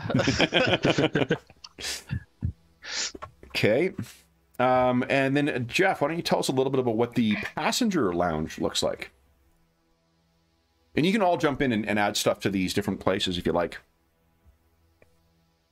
Um, I think the passenger lounge we have uh, several tables, maybe even maybe even five little tables with only two chairs. You know, like quite small. Like they show four there, but I think we're more often having planning for like you know five passengers who may not know each other. So we've got much smaller tables. Okay. Uh, there's sort of the little bar set up in the maybe in the corner, uh, the top corner there, uh, along the front there, Okay. where there's sort of no windows. It would be the bar along there, so that Alonso can come out of his room and sort of go to the bar area. Um, I guess we would have some kind of a we might because I mean we obviously serve them food, so maybe there's like the bar serves as like a buffet sort of thing or whatever to feed them their meals as well. Mm-hmm. Um, as far as the decor, um, it's it's probably a lot like uh, Graham said. Like it's a new ship. It's nice. It's shiny. It's you know it's it doesn't have a lot of character yet, other than the little tiny bit we've had a chance to inject, but uh, we haven't had a lot of time with it. So I'm imagining that that's probably like on the on a checklist somewhere in Alonzo's room is like, you know, at each place we travel to maybe is to like find some interesting decor for the the place. hmm And leave a copy of your book behind. Of course. Well, if there's a, you know, a port gift shop, I've got, you know, books for books for them to buy. um, what? Uh, so after Maybe the one feature that Alonso did put together is just like he said how he introduced the crew. Maybe there's like an actual plaque uh, on the wall that he's had made that's got like our five pictures, our role on the ship, and like just a short little blurb about each each of us for the passengers to sort of remember the crew or read about them. so an important question then. Uh, the picture on the wall of our crew standing next to uh, the Rift Wanderer. Uh, who is smiling in that photograph and who is not? Yeah, I don't know if anyone smiles on our crew. Oh, Danny Hill is probably his- smiling. yeah. he loves his ship. I think Anchor would be as well too. That strikes me in the way Carl's been describing him. Okay, Okay, there you go. there you go. So you got a I'll- picture. Yeah, there's a side profile of some planet. Yeah, there's like a big yeah, like you said, at the top maybe is the picture of the ship with the five of us standing there, and then there's like below it, you know, in order, the captain, the doctor, Okay. myself, and then our two sort of security guys, pilot, whatever yeah. we've got under there. Okay. then with um, uh, once you put uh, Errol to bed, uh, is there anything else you wish to do before? I mean, you, you uh, actually let's do this. Why don't you give us? See how you're holding your liquor. Because there is rules for environmental hazards, and I imagine booze could be considered one of those. I was looking at that when I was reading the healing rules. I was going to say that he's he's probably not drinking as hard as Errol because he does know that he has duties on the ship. So Yeah. it's probably like a two to one or three to one kind of ratio. One, I don't know how your stomach feels when you jump into um, uh, like the you, you do the hyperspace jump or whatever. Uh, it is uh, that might be upsetting on the tummy. Yeah, I mean, I do think Alonzo's lived a bit of a tough life. So Yeah. you know, he, it's not that he's a, afraid to drink. That's for sure. Mm-hmm. Okay, it is. Here we go.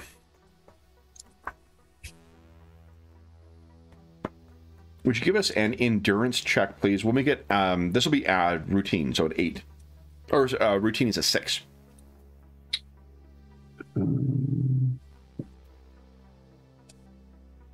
Good news, guys! I have rules for space anthrax in here. You So just made it. yeah, so you're like God. That old miner, he certainly uh, he he's petered out uh, by the end of it, but he certainly pushed you to whew, uh, an early limit for today.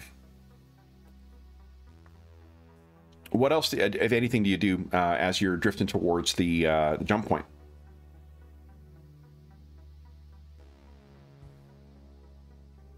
Um, I probably do um after you know getting Errol to bed.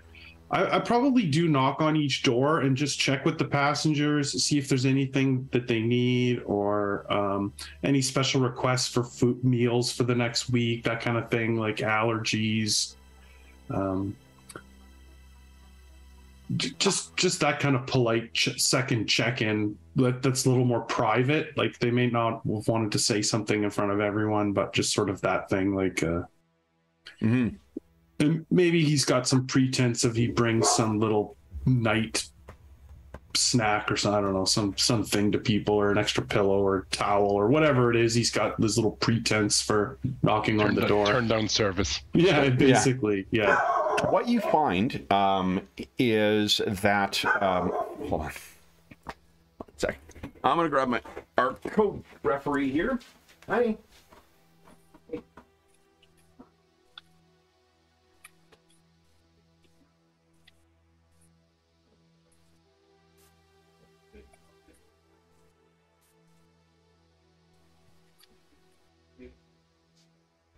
Soon we will also have a crew meeting once everything is on autopilot. Just see how we feel. yeah i think we should have a always Okay. have our sort of post departure crew meeting Yeah, so then um, you all get back maybe together. One, one of the things you do find, what I was going to say, uh, is that um, uh, so the uh, I think that Errol ended up in this room here. Uh, oh, sorry, this room uh, here, the closest to the exit. And originally, uh, Talwy, Mr. Talwy, had been uh, here, and Skier, uh, Miss Skier had been here. Um, when you check on uh, Mr. Talwy, uh, you find, or what you expect to be Miss Skier, you find Mr. Talwy answers the door. And he says, uh, Oh, uh, hello, uh, Mr. Alonso. Did you need something? And he looks like he's been, um, he- he's wearing uh, comfortable clothes and whatnot. He seems like he's gonna relaxing and he seems to have been reading something. uh Oh, it's not a breath then. Bit of a nu- nudge, nudge, wink, wink, eh? yeah yeah Say no Uh. more, say no more. Yeah, no, of course not. Uh, just you know, checking in, make sure everything's okay. See if there's any special requests for the journey. You know, food allergies. Um, No, from the door you can can see he's you? alone in there. Uh, it Hmm. seems like he may have swapped rooms with her. I, uh, maybe I'll. Yeah. Uh, so you decided to swap rooms. Oh We had you uh, across the hall there. no, uh, it, uh, Miss Skier asked if I would mind, and um, having having seen uh, what's his name, uh, Mailer.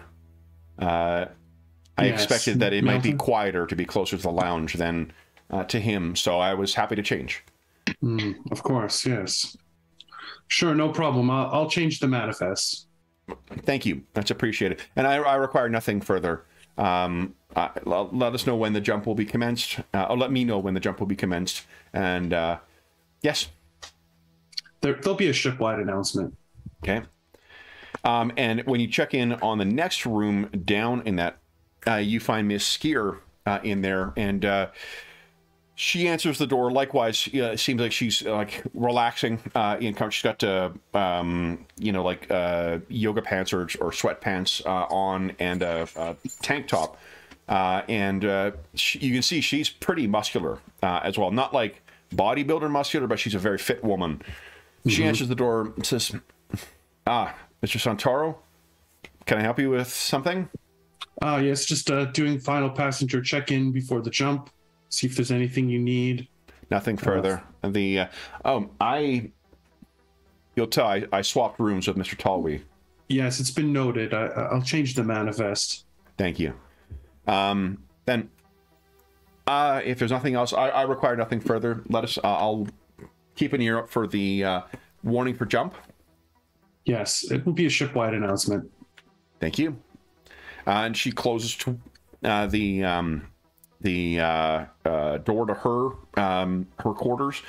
The rest of them go uneventful. Um, Mr. Hobbs has a couple of questions for you, I imagine. Yeah, of course. Uh, and then uh, Ms. Paller seems to be uh, busy reading something. Like she's already made herself at home. You know, shit's all sprawled out across the uh, uh, the desk. Uh, turns out there's a lot more stuff in her little carry-on compound uh, bag than what you would expect. And um, otherwise, you're able to rejoin everyone. So if you're doing that in the in the lounge, maybe you walk into the lounge where Dane is, and Dane, you can smell Alonzo once he gets kind of even close to you. Like, oh, he smells like what uh, Mr. Melter did when he got on board. Okay, I'm not gonna. I'm not gonna comment. I'll. I'll, I'll, I'll note it. But I'm not commenting. Okay. Uh, and then Well, once, everything okay, Alonso? Everything all right? Yeah, uh, one strange event. Um, Miss Skier and Mr. Towley switched rooms. I'll have to note that on the manifest. And They're all the same. I think uh, Captain uh, and uh, Doctor, you both would be able to walk in at this point as well too. Maybe you've completed calculations, you've got it on autopilot, moving towards the uh, point. So you walk in, and it smells like holy shit! Like someone is celebrating in here because it smells like liquor.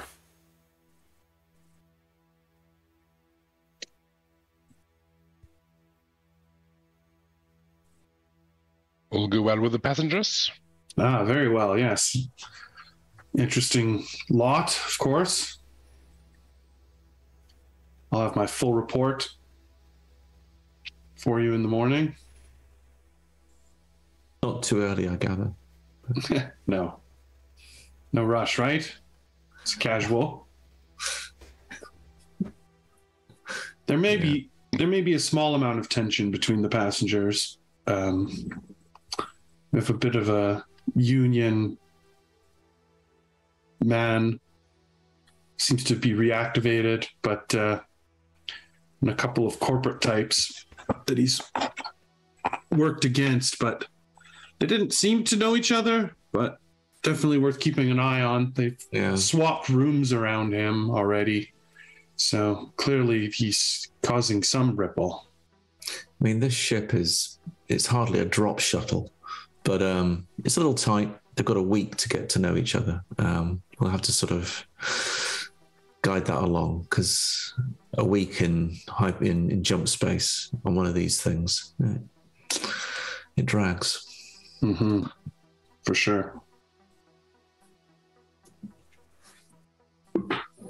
Uh, Doctor, you had not had an opportunity to share your uh, insight about the um, uh, the amount of vaccinations Yeah. that Ms. Skier had. Yeah, but I to- think uh, when when Dane says you know about it dragging, uh, Elias will say something like, well, "I think Miss Miss Skier will make use of the gym facilities. No doubt, she seems to um, be from your former line of work, Dane, and I'll, I'll show him the sort of just the patient confidentiality, confidentiality would of course apply, but just to show that her vaccination record is almost as impressive as yours and Gani's and uh, Anchor's. Won't count against her. So Dane and A um, very specific period as well, so like a one one rotation on on duty. Megatha, four years. yeah, do you guys have any? Let me take a look at your character sheet. See what it'll be easier than me just fishing for skills here. Let me see if there is anything. I can't remember how ubiquitous the uh, profession skill is in this game, uh, like it is in some other games where it's used to. Oh come on, fucking roll twenty. Not very, I don't think. No, no, definitely not from what you've seen. Um, so for you, um, I think Dane, you can give us a leadership check, uh, but use intelligence instead of social. Uh, and Captain Ganny, let's see here. I think. I think leadership as well, uh, with intelligence as a modifier, Okay, cool. which you guys each use those separately. With intelligence is helpful.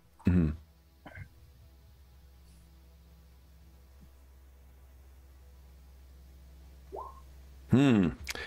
So you look at it, and I mean, like, both of you draw the same conclusion that uh, uh, Dr. Ilias has. Like, uh, there's very few professions where you have that much, you know, uh, vaccination that early on. Um, there are maybe, you know, um, traders, but even then, that's more of a you pick it up as you go. It's not regimented the way that uh, the timing is on this one. This is if you look if you were told nothing else and you both looked at this, you would immediately think, yeah, it's, it's ex-military.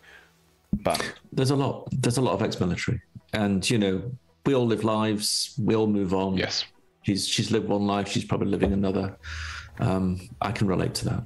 it would not be the first co- corporation to have uh, corporate security. In fact, you know that the um, Argona apparently has a military contract or a, uh mercenary contract uh, to uh, to keep itself safe. Right. Uh, of interest, um, the, you do um, the ability to um, what, what's the um, the phrasing of it? Is it uh, not not force multiplier, but uh, to exert force or whatever? The the range uh, of uh, with which it can exert force is very limited on Argona. Um, one of the things what that one of the reasons that people are uh, involved in the Borderland Alliance there is because the uh, while the Third Imperium does pass through every now and then, they do not have anything near a regular presence there, and the extent of the guaranteed safety is pretty much right around the station at Argona. Uh, there are still other settlements in the system, um, but from where you jump in generally, and from the other systems, piracy and whatever other problems that plague this kind of you know Rift's Edge uh, sector, um, it, it's definitely a problem in Argona. Yeah. Okay. So, anything else you guys need to discuss before you conduct the think jump? Dr. Ili- Dr. Ilias would, would turn to Alonso, not commenting on, on the on the booze wafting uh, off him, but would ask out of curiosity, any idea why a journalist is traveling to Argona? Is she is there a story to be found there? I mean, there's usually a story to be found anywhere. I, I'm not sure. I, I could ask if you'd like me to find out more. I'm merely curious what what what brings uh, from the description of the world. I would not have expected um, someone of uh, like like Cassidy Pallard to, to head there. Hmm. And I'll schedule you in for a uh, maybe liver check uh, during the jump. Purely precaution. Of course, of course. Always appreciated. Uh, anything else you guys wish to do before uh, we transition to your ship? Any other matters the crew needs to discuss? Think I would let the captain know that one of the passengers in low berth uh, had a heart surgery, and I'm sure that all necessary precautions have been taken. It does not preclude jumping, just an adjustment of the, but just so the captain is aware. Okay. Okay. um, then, uh, if there is nothing else, then we'll make the jump. So it's a it's about like I said about uh, 12 hours to get out to uh, the space where you're finally free and you see all, all those uh, lights on the um, on the sensors. Uh, the gravity uh, gravity sensors. Gravity. Why did I say it that way? um, the uh, firing up the jump drive requires an easy engineering jump drive check. Uh, so it'll take 1d6 uh, times 10 minutes and is modified by education. So I believe, Captain Ganny, this is your wheelhouse now. Yep, and I also will get a bonus from the good doctor's um, amazing role. Oh, nice. Is that relation? Task chain, yeah. Oh, right, because it's a task chain. Right. I love this game. That takes 40 minutes. Okay, so 40 minutes to get yourself uh, to get the calculations done, and then would you go ahead and give us an e- easy, so four or higher. So it's the jump drive And A I'll is maintained. You're not as well. using unrefined fuel, and you're not within the 100. Oh, so you can try it within the 100 diameter limit. Just um, it ain't good. Look at that. Nice. All right. So the next thing we need to do is make a bunch of willpower checks because you guys are traveling into the. wa- Oh, hold on. I may be thinking of a grimmer and darker future here. Hold on. All right. Uh, so then. Did I mention my third eye? Yeah, exactly. Uh, would you guys? Uh, so I guess hold on. Let's let's let uh, um, the uh, Traveller heads uh, tell us what this uh, looks like and feels like. So James, why don't you tell us what does it look like and feel like for the crew as they transition into uh, um, what is it called in this game? Ooh, Making the yeah, good. I think it's going to be. Uh, uh, somebody correct me, but I have a feeling that you'd get a, a sudden uh, feeling of. Oh, be a perhaps a, a shudder and then s- suddenly smooth running at that point. Mhm. Then there's just going to be complete um, smoothness once Yeah. we're actually into jump space. Uh, the description given on 157. I'm just looking for that. Yeah, 157 is while in jump space, the ship is completely and utterly cut off from the universe. It hangs in a shimmering bubble of boiling hydrogen, a pocket dimension from which nothing can escape. It cannot communicate with the normal universe, not even by a psionic means. It is utterly alone. And it will take, uh, so roughly one week. Would uh, Captain Ganny, since you were the one, or maybe uh, well, the uh, astrogator uh, make this? Um, give us a 6d6 roll. 6d6 plus 148. That's how many hours the trip will take.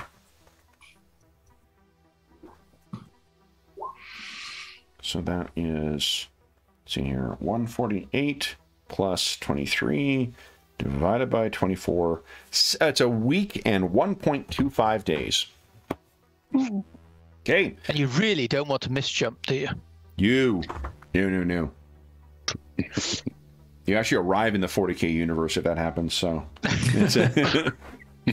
all right. So then you, um, yeah. So uh, with a, a brief shudder, and then poof, you guys are off and traveling. Really, um, unless there's any kind of catastrophic mechanical failure, there's nothing to do but wait at this point. So.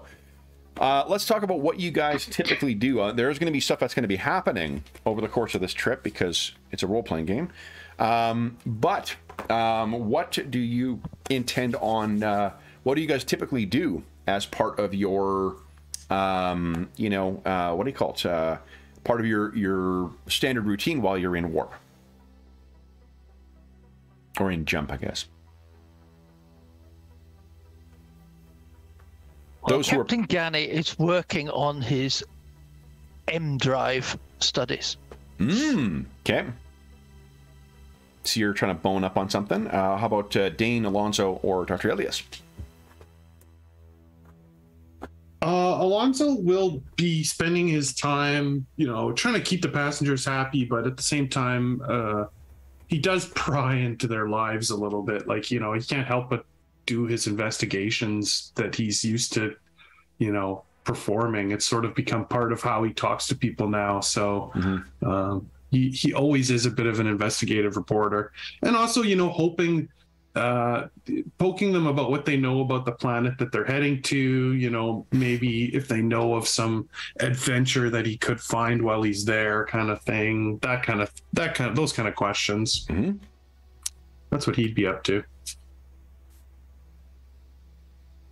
Ilias will, of course, follow Dane's strict exercise regime uh, and make use of, of, of the gym, and then uh, probably in the afternoons do sort of follow up on her own studies and, and read over various case studies and, and, and notes, and maybe delve a bit, little bit deeper in Mr. Hobbs's um, medical file or what, what access he has. and it's going to be extremely fascinating. Like that, that there is definitely Yeah. something to be gained from the Sindalian uh, genetic engineering techniques. And then for relaxation, uh, he'll I think he can sometimes be found reading Alonso's book in in in, in the common area. You know, so slowly, chapter by chapter, not Yeah. like engrossed in it necessarily, but you know, curious and, and sort of making an effort. I'll- I'll let Jeff decide. You know how good it is, or, or if, if it would be to everyone's liking. But yeah, I think I think Dr. Elias will read it just just you know out of curiosity. Was the first book fiction, nonfiction? Uh, the the so the the I believe the first book was about his um his last adventure there, the one that he uh, where he went undercover and he broke up that uh was it a politician? Yeah, it was a, corrupt politician Mhm. who you know was doing some sort of corporate stuff there's like all kinds of espionage and uh so i mean you can tell me if that's the kind of book that the doctor would like so it's a it's a true story to a point um alonzo has definitely it's a little bit autobiographical and he's like sort of turned himself into this uh not i wouldn't say like james bond but you know probably a little bit more like the Fletch books. I don't know if anyone of you guys Mm. so he's done read. what all journalists are told not to do, which is to inject himself into the story. Absolutely, and he is like, but he's like, he's like this. uh He's sort of like a charismatic investigator. Yeah. Uh, and I'd say there's like a bit of hu- he, it's it's a humor, a little bit of a humorous book uh, bent on it though. Like he knows that it's not like it's a little tongue in cheek, right? It's a little uh, Mhm. Okay. full of jokes more than uh, tr- just pure intrigue or whatever. Okay. And how about Dane? What does he do with his uh, his time typically? Well, in the simulated day that we have on ship, because of course there is no day and night, uh, Dane will typically wake up. Dane's Early. slowly becoming Michael Biehn's character from The Abyss. Cut his hand and. uh, Yeah. he'll wake up in a sweat, cold sweat. He'll he'll he'll he'll, he'll wake up thinking, "Oh, I've, I've got a jump to do. I've got to, I've, I've got to do a drop. I've got to do a drop. No, no, no, no. I don't have to do a drop. He'll have a he'll sort of disappoint himself by by having the broken sleep. He'll have the heavy breakfast. He will he will he will hit the gym Okay. um, he will kind of make himself as busy as he can. He, he will he will probably try and come down from that as well. Just just just you know um, just some easy easy listening or something, and then and then yeah he'll probably he'll probably undertake some sort of personal studies as well. Okay. So the resemblance is uh, the easy listening. I'm picturing him blasting Chuck Mangione from his. yeah. Uh, you know, who is next to your uh, cabin? Uh, lots of turn it down. Stop. Well, actually, uh, across the hall is Errol Melter. Oh yeah. oh, that's right. You're the way at the far end. Yeah, yeah. You're next to come uh, there, yeah. Elvin Yeah. Hobbs. Poor bastard's in his room. Just look. Is this how things normally go?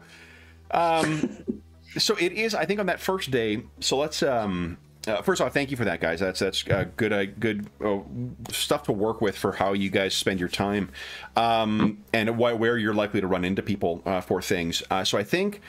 Uh, Dane, assuming that you are, um, yeah, you're uh, moving down to where the gym is. What you find uh, very early on is you find uh, Ms. Skier is already there, and you um you know so you come around and she's just finishing up you know uh, uh lifting something she's doing uh, you know things and she sits up and sees you and she says it's the jump right? Yeah.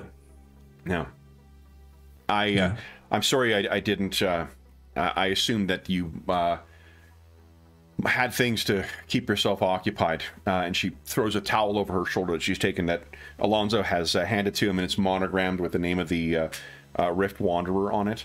Um, she says i'll set you for a spot if you like Yeah. Great. Okay.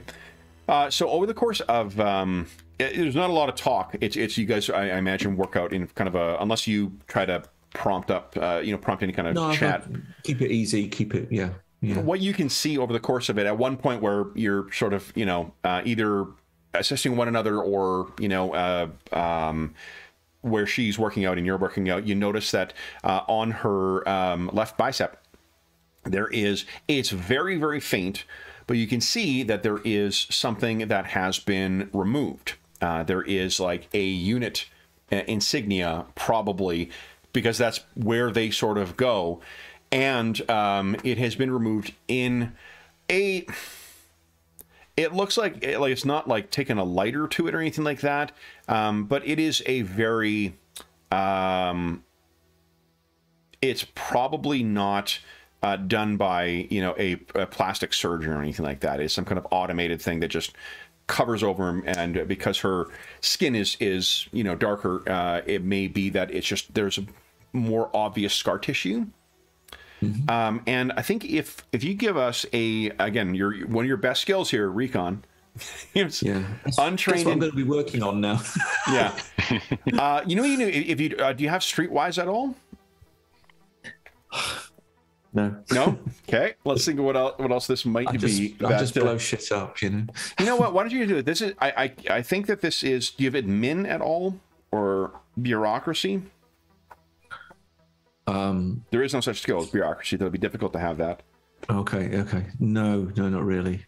Um. Um, do you have? Uh, why don't you just give us? Let's do this. Why don't you just give us a a flat education check, no modifier. Yeah. Sure. That's going to be a straight roll then. I think. Okay. Okay. Go. Okay. Okay. Get an eight. So this is actually um, what you can tell from it, um, because you can pretty much because this thing was automated and done, you can kind of make out the rough shape of this stuff, and um, because of your service beforehand uh, and in this region, you are able to make out that this is there is a unit um, or a, uh company called a TMR, which is Trojan Military Recruitment. Uh, they can kind of be thought of as the Trojan Reach's uh, kind of prefab mercenary unit.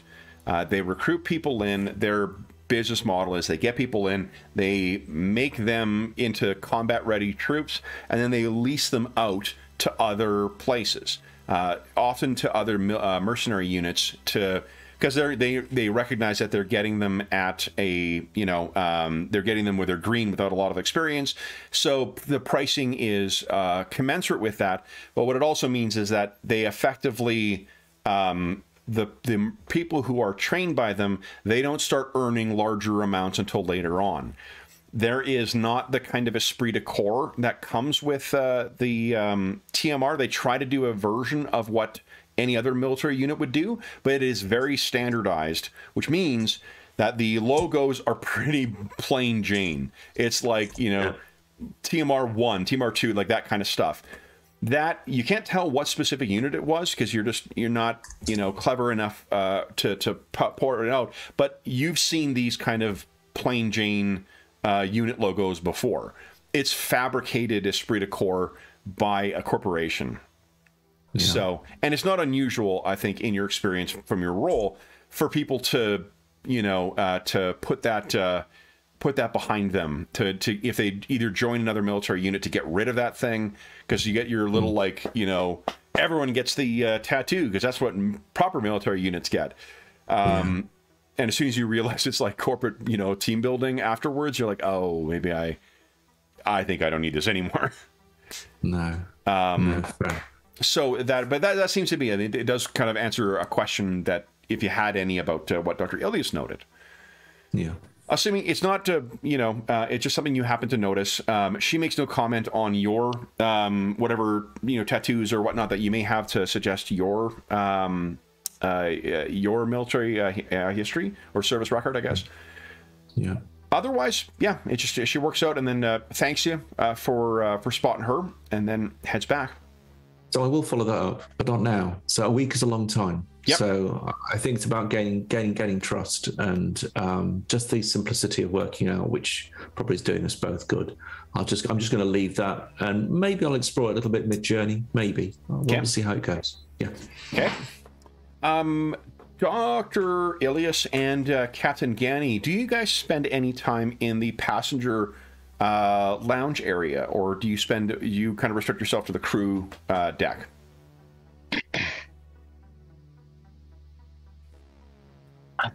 I think I might go and show my face once, and uh, but because I feel I ought to, but it's not my natural thing. Okay. Uh, I'll scuttle back to my books. Oh, you're muted, uh, David. So I am. Dr. Elias would happily go and mingle um, just to get a bit more experience about traveling in the wider in the wider universe, and you know he, he's used to social engagements in the faculty or, or you know an annual revenue celebration parties at the lab he worked at and that sort of thing. So he'll happily go and mingle Okay. and that should be more about with Hobbes about you know the, the Drinaxian customs of, of you know preserving the, the the gene line and all of that. So he'll he'll happily mingle. Uh, and he will. That will be something that will um, that Mr. Hobbs will happily latch onto. It is a, a topic that he does know a great deal about, and he's got a great deal of experience about, and he's very comfortable talking about it. So he is more than happy to fill your, you know, um, and he is that kind of. Um, we are talking about the, you know, the equivalent of the 53rd century uh, here, but he might as well be a medieval noble with the way he talks about his lineage and whatnot. Because he can go back very, very far. It was whatever it is, 1600 years uh, divided by 25. That's how many generations back we're going. Uh, so uh, it's a it's a lot of people he can talk about, and he even will bring up like sort of displays. It's something he's quite proud of too. It seems not not in a you know uh, an arrogant way. Uh, He is kind of atypical in that uh, in that manner. Um, he's just proud of it because he doesn't know anything not to be. You know. Um, it, that would be the environment. He strikes you as a very sheltered individual, even at 27. And that sort of social thing is exactly why Gani is sitting on the bridge reading Yeah. his books. So, uh, am I uh, the kind of showing himself to all the crew, to all the passengers? Is that something that Captain Gani enjoys doing, or is it something he feels obliged to do? He's obliged. Okay, so that answers the mood he would be in. Does Captain Gani have any points in recon? No, no. Okay, would you give us then a? Uh, it's an intelligent, uh, uh, basically an unskilled intelligence check, please. Ah, do, do, do, do. Well, I'll just pick. Um, It would be minus three to the mod as a modifier for intelligence.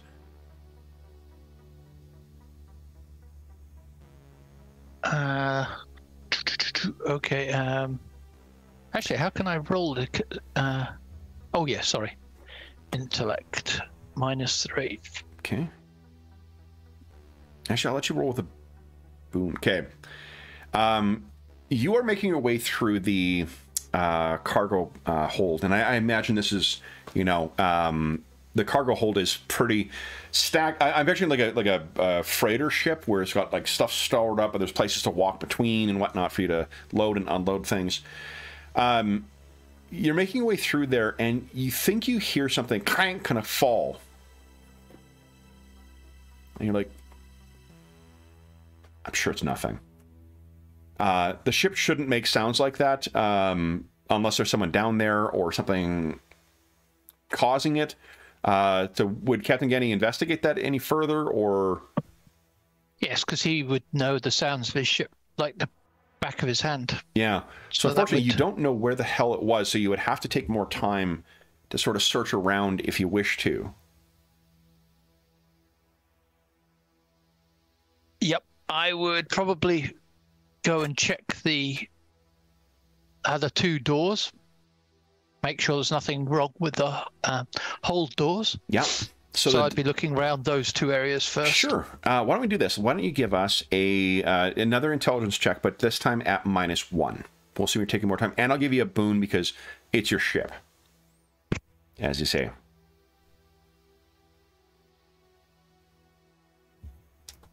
Okay. Oh, still, Still not quite. Yeah, and oh, sorry, my there you go. My mouse is going bonkers. my boon was useless. Yeah, your boon is not great there. All right, so you do a search around and you don't know what the hell. You check the two doors. The doors seem to be completely secured. Like there's nothing, no tampering, no whatever. Um, and you're looking around and you're not even quite sure what it is that fell. Like whatever fell, you, you're not able to find it in the hour or so that you spend looking around. Hmm. Well, I guess I'm I'm sure there's nothing gone wrong on the uh, on the doors, etc. So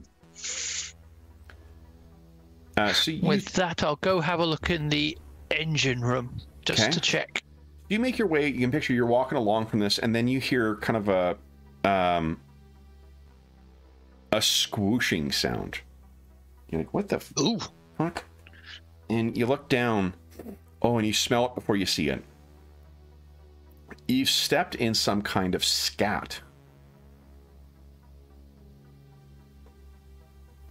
it doesn't look big um like effectively if you picture the uh leavings of a you know like a cocker spaniel or something that size um that's what you've just stepped in that's not good. On my nice clean ship. No, and your boots too. Um, and I think with Captain Gani trying to discovering that uh, they seem to have some stowaway, at least one, I guess, stowaways possibly on board. That's what will bring our session to a close because we're out of time. Uh, so, for those listening at home, thank you so much for joining us for session two of our Borderland Run Traveller campaign. Um, as is always the case, if you have any comments, questions, or concerns regarding the session, uh, the campaign, or the game we're playing, please don't hesitate to leave a comment in the comment section down below, and I'll endeavor to reply in a timely fashion. I have a, a appointment uh, this afternoon with getting caught up in uh, uh, my uh, comments. I was going to do that yesterday, but then I uh, heard the call of Skyrim, and uh, I, I needed to spend some time doing some Viking shit. Uh, I will resist that call today and get caught up in that. Um, in addition, there is a link down below to the Dungeon Musings Discord server in the description of this video. Uh, you can find a channel there dedicated to. I don't know if we have a Traveller channel there yet, uh, but we have a, a, a sort of games channel and channels dedicated to every other game we run on the channel. Uh, there is a really terrific community that has built up over the past couple of years over there, and you are more than welcome to join us over there. Um, there is also a link down below to our friends at Noble Knight Games. Noble Knight Games is the preeminent retailer of hard, uh, sorry, preeminent unionized. They'd be very welcome in Argona.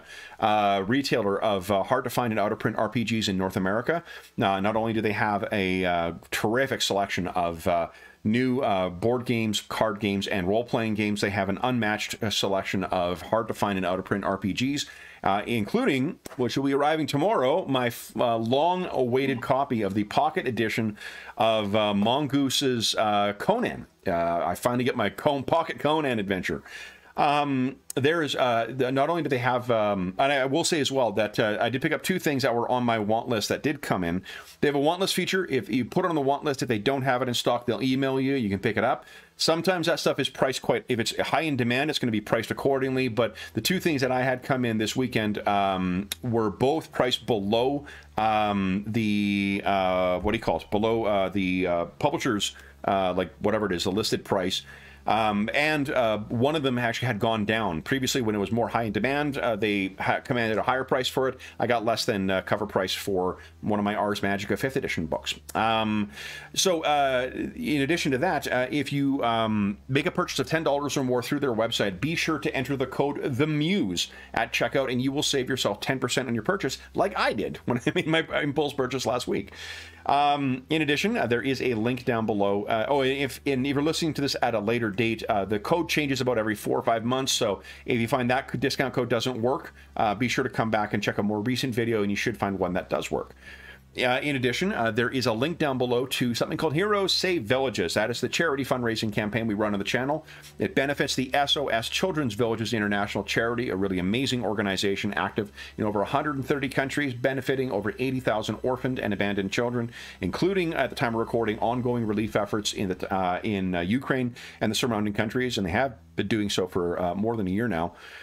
Um, any donations that go through that link go directly to SOS Children's Villages International. None of it goes to the channel or any other middleman. Just goes to help out the kids who benefit from their services. And uh, as a, uh, we have two small ways of saying thank you. One of them is uh, to um, provide a um, what do you call it? Uh, one of them is uh, to uh, if you donated ten dollars or more uh, through the the website uh, Canadian, uh, you will be able to vote on the first half year's worth of uh, charity sessions that we're running this year. Our charity sessions will be running about every two months, and uh, all six sessions will link together into one long story called the Year of Ill Omens. And each uh, time for each of those sessions, the donors will have an opportunity to vote on what time period we're playing in, what kind of specific era, you know, specific year, what game we're using, and a bunch of other stuff. What kind of characters we're playing, and we'll next weekend we will be playing the first of those sessions, which has been shaped by the donors. We'll be playing a, a session of uh, Amazing Adventures, a terrific modern era, day era version of the uh, Call, uh, Castles and Crusades uh, system, the Siege engine, uh, set in the time of uh, the golden age of piracy. So it should be a lot of fun. We have some really interesting characters and some great players showing up for that. So it'll be really, really good. And then after that, donors who have donated $10 or more through the Hero Save Villages campaign will then be able to vote on the next one.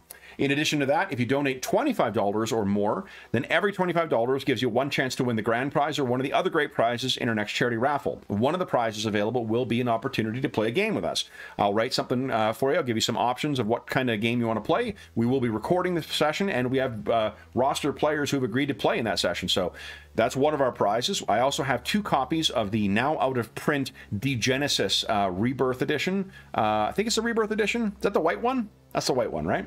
Yeah. Yep. Two copies of those, brand new, that I picked up when uh, they were uh, doing their fire sale to get rid of all of them. I've got those, and we will have other great prizes for that in addition to the game. So lots of great prizes uh, that you could win in the charity raffle that will be happening at the end of June. Um, we'll announce more prizes as we uh, become aware of what they are. And um, every uh, $25 Canadian that you donate gives you one chance to win at that next uh, raffle. And because you donated more than $10, you also would have an opportunity to vote on the Charity Initiatives channel of the Dungeon Musings Discord server for our next two sessions. So uh, if you have donated since January 1st, uh, 2023, and you have not cast your vote, right now it's too late. But for the next two, you still have an opportunity to vote for the next two sessions, and there will be ways to help shape how those are connected. So not only do you get a chance to win some cool gaming stuff and to help shape the game we're playing this year-long uh, charity campaign, you also get a chance to help out some kids who could really use some help. So you are a winner all way round. Uh, the last thing, speaking of winners, I will say is a huge thank you to our stalwart travelers. So, Jeffrey, David, Graham, and James, thank you so much for playing today, guys. This was a shit ton of fun. I can't believe how fast the time flew by. This game really, uh, yeah, it really is is um, easy to get uh, caught up in the mechanics and the settings. So, thanks so much for playing today, guys. No, thank you. It's good fun. We will be back aboard our uh, vessel in uh, two weeks' time. But until then, we hope that we gave you a couple of hours, to take your mind, or a few hours, to take your mind off of the troubles of our world and see about the situation on the Rift uh, Wanderer and uh, what potential issues may be coming. I'm sure all these sneaking, um, you know, secret things about these different characters. Nothing will come of it. I'm sure it'll be a. And the spore probably. I mean, who doesn't bring animal spore on board and just leave it anyway? I'm sure that's nothing for the captain to worry about. But we'll find out what whether it is in two weeks' time. And until then, uh, stay safe, stay healthy, and happy gaming.